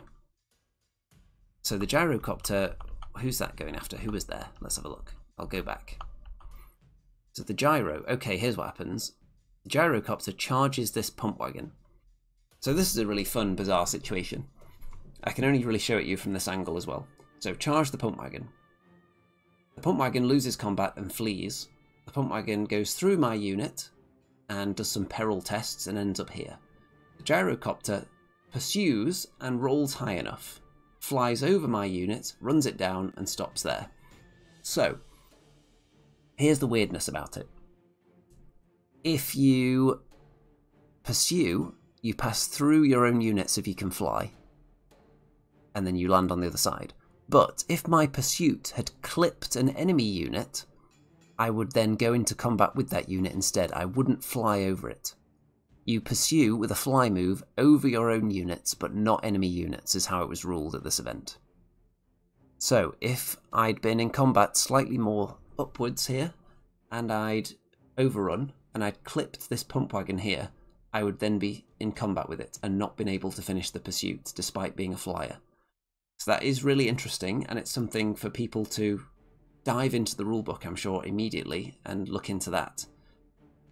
Because that is crazy. Let's see. Riley says, Well, you do take panic test from 25% casualties, which is what happened since it was shooting. Yes, but can you full on flee if you fail that panic test? If you've only, if you've not lost like 50% of your unit, or do you just fall back in good order? So maybe that's what happens to the Black Orcs. But they do seem to go quite far, considering it would potentially been a fall back in good order. How much do you have to lose before you can full on flee from shooting damage? So, yeah, that angle with the pump wagon led to a very interesting situation that we had to check on to see who got touched first, whether it was the other pump wagon or my dwarves, who I could fly over but not the enemy. So flyers pursuing, at what point do they count as flying and at what point do they get stopped by the enemy? Very interesting nuance of the rules. So, go back to where we were. So the gyrocopter ends up out in the open after the successful pursuit. The Iron Drakes move up and do some shooting. The Hammerers are just re-angling themselves, ready for anything that's coming this way. And this combat is whittling down my Engineer's wounds. He's on one wound. And I do some shooting into the Goblins who haven't unleashed any Fanatics yet, I think. And take a few models off that unit. And... Hold on. This picture isn't loading. So you know what? I'm going to class that as technical difficulties and bring up the episode thumbnail for a second and look why my pictures aren't going further. Got them open as like a slideshow. So let's close that and find where I was in the game and open it again. Okay, that should now be working. So where were we? Just zooming back here. And I think we're in the right spot. There we go. Technical difficulties immediately resolved. Look at that technical wizardry. So what I used to do for these battle reports actually was load the photos into the broadcast software and play it as a slideshow in there. But when I started taking really in-depth pictures of all the events, it was like hundreds of photos and it just wouldn't load. And then they started limiting how many pictures you could put into a slideshow as well on the broadcast software. So now I'm just screen sharing one of my monitors, which is housing the photos, which I'm just scrolling through on my computer, which is much easier and less resource intensive than the old way for anyone who's thinking about doing battle reports. So there we go, combat, murder. And I keep either drawing or winning combat against these against these these goblin models because they don't have close order and the dwarf warriors do. Now, at what point do you not get your bonus for close order? Is it when you're down to the last model? Visibly Riley says, that's what I used to do with PowerPoint. Yes. So I would say if you're going to do battle reports like this, having two monitors is very beneficial. So my gyrocopter has actually moved away. I think I fled from a charge from these goblins, which is why it's down here. I think it was a fire and flee. And my Iron Drakes have a spell cast on them, so they are now stupid, which is fun and the wyvern, which rallies, flies over the top of the rangers so it can get involved in the game again. Which is probably a good choice, because if I turn around to shoot it, I'm going to be on minus two to hit. And this guy falls back again, which is funny. I just keep winning the combats against it, because it's just terrible at fighting this thing, it must be, or just rolling really badly. The engineer's down, so this unit that I thought I'd killed ages ago is now steamed through an organ gun and an engineer, and it's into the anvil. So surely the anvil can kill three measly goblins and a squig. And the Slayer also attempted to charge into the flank of that unit as well, but failed the charge, so gets stuck just outside the terrain. Onto my turn though, so I'm going to be able to try that again. The Fanatics are released in my turn, so they're going to be steaming into my units if they can make it. And let's see where they go. Uh, they don't move yet, actually. But there's something else happening first. I'm declaring a charge with the gyrocopter to get out the way of the fanatics, because otherwise it's just going to die. So charge into the goblins. Then the fanatics come out. They pass through the iron drakes, but they do not reach the hammerers, crucially. And they wipe out the unit, though, so that's quite nasty. And the other one doesn't reach anything. The iron drakes rotate a little bit, and my shooting completely blasts away some more black orcs. And after killing the gyrocopter, the goblins overrun into the iron drakes, which isn't ideal, and that's just a little mistake on my positions and angles I had there. So we've got some fanatics out in the open, which can totally swing a game on their own, and this unit of goblins, which, as feeble and pathetic as it is, could win a load of points for the enemy here. Does two wounds to the Anvil of Doom and only loses two back in the process. Can you believe this madness? And the Slayer failed its charge again to join in. This is outrageous, as Anakin Skywalker might say. The Dwarf Warriors defeat the Goblin boss again and push him even further back. And onto the Orcs and Goblins turn 5. So the Snotling Pump Wagon runs off the table because it's so terrified. The Goblins charge into the Slayer. This combat rages on. That combat begins. And where are the fanatics? One of them passes through the hammerers, I think, but doesn't do much. And the other ones either slam into the building or does nothing. So, disappointing performance from the fanatics. The Black Orcs are moving in for the kill, but there's not many left now, so much so that the movement tray has actually been removed. And I think I don't think these two guys deserve to have their own movement tray. Although, to be fair, they are performing well, so maybe they do deserve it. Maybe that was harsh. You can see that I did turn my rangers round previously as well and had a go at shooting the wyvern but didn't do anything to it. My dwarf warriors chase the goblin war boss on Squig off the table as well, which is hilarious. But then even more hilarious, the Anvil of Doom loses in combat, is killed by a goblin and a Squig. Pathetic Anvil. So that Anvil is like 360 points with the upgrades I've put in it. So this four goblins made it into my lines and they've taken out about 500 points of stuff here. So I'm definitely gonna, if I face this army again, there's definitely a grudge being issued against this unit of goblins. So there's my dead pile. So the points are stacking up actually for my opponent. Uh, this guy overruns, and the squig actually dies while overrunning through dangerous terrain. So the goblin is alive, so while he's alive, that means I'm not scoring full points for that unit. So I'm going to have to try and murder him. The Slayer takes a wound. The Iron, the Iron Drakes are killed, so the goblins overrun into the Hammerers, but they're obviously going to get whomped to death. That may be why they don't get to keep the Golden Horns. They don't deserve them. Being killed by a goblin with a pointy stick and one squig. That is very disappointing. Uh, the Wyvern moves as well behind here. And onto my turn 5. So, I've got one more chance to kill the Black Orcs, and I'm going to do some serious blasting. And the Hammerers kill and overrun the Goblins, as you'd expect. Rangers move up a bit, but don't quite get any decent shots away on the Wyvern. Killed some good Black Orcs, not killed any of these guys, and the Slayer is still in combat with the Goblins. Orcs and Goblins turn 6. The Black Orcs fail their charge into the organ gun. They don't roll high enough, so they're stuck.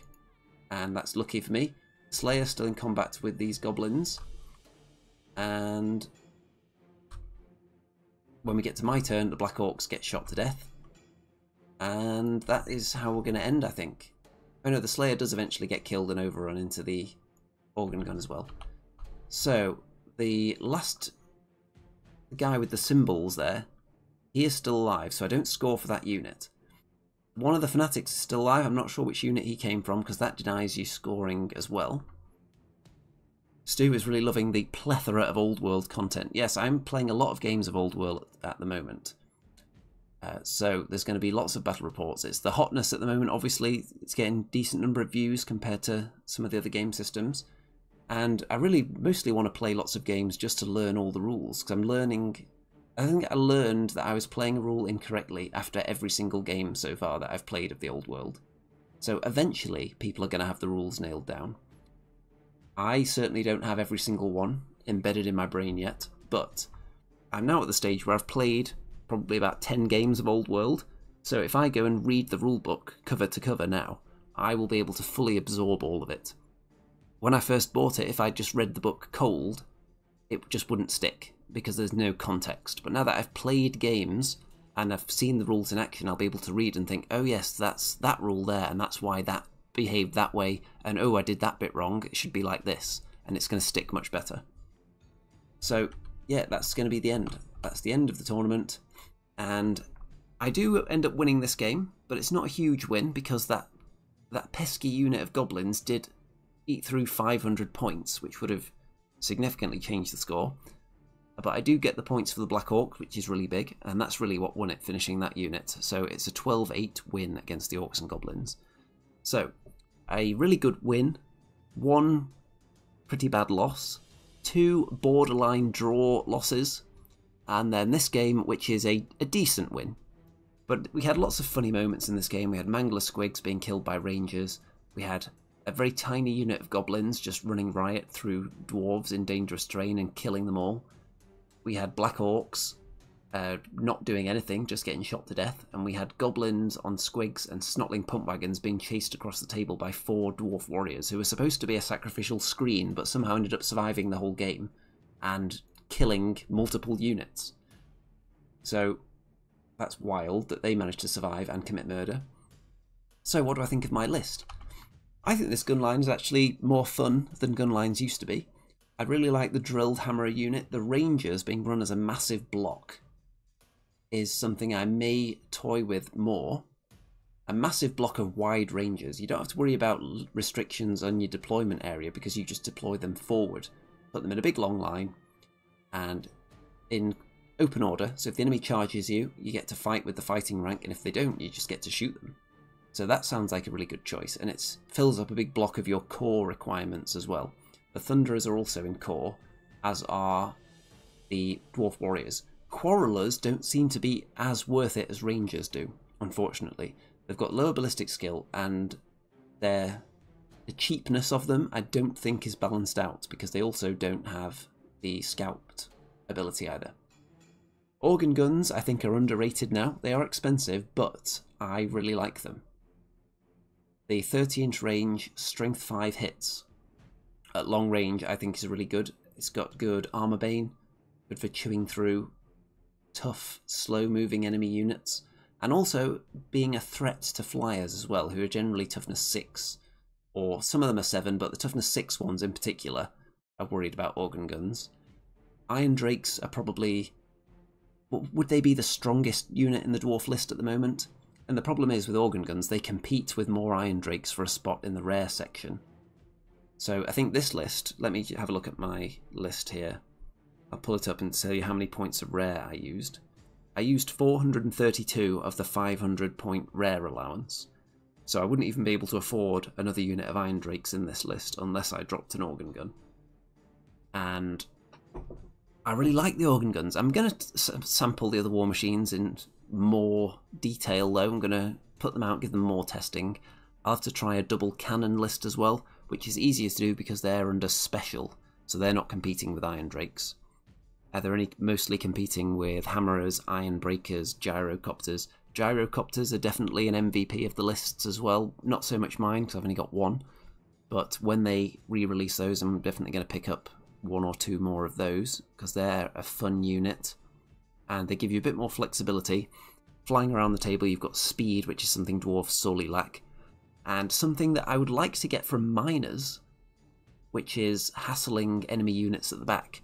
I don't feel like there are enough units at the back that can be hassled because as, as soon as the miners come onto the table, people just walk away from them and they can't catch anything. So if we enter a big war machine meta where people are just bringing cannon lines, then miners could have their day. But until that time, I don't see a good use for the miners, unfortunately. Rangers, I think, are very good. So Rangers, Gyrocopters, and Iron Drakes seem to be the hotness at the moment. The Anvil, mixed opinions people seem to have on that. I really like it. If the enemy wants to come into range to dispel your runes, which are powerful, then that also means they're in range for you to dispel their spells. And you can put all kinds of extra uh, dispelling runes on there as well. So uh, my anvil was actually 320 points because of the upgrades I put on it. So it's expensive, but it's good magic deterrent, and it forces kind of forces the enemy to stay further away with their wizards, and that limits the spells they can use on you. I didn't really suffer much as a result of magic at this event, and I think the threat of the anvil is quite big, shutting down spells quite well. Uh, there were one or two vortexes that went off, but most of them weren't game changing.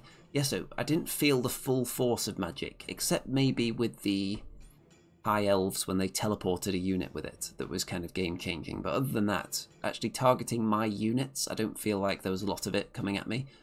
A few fireballs, but they didn't really do too much. So I think magic defense quite good.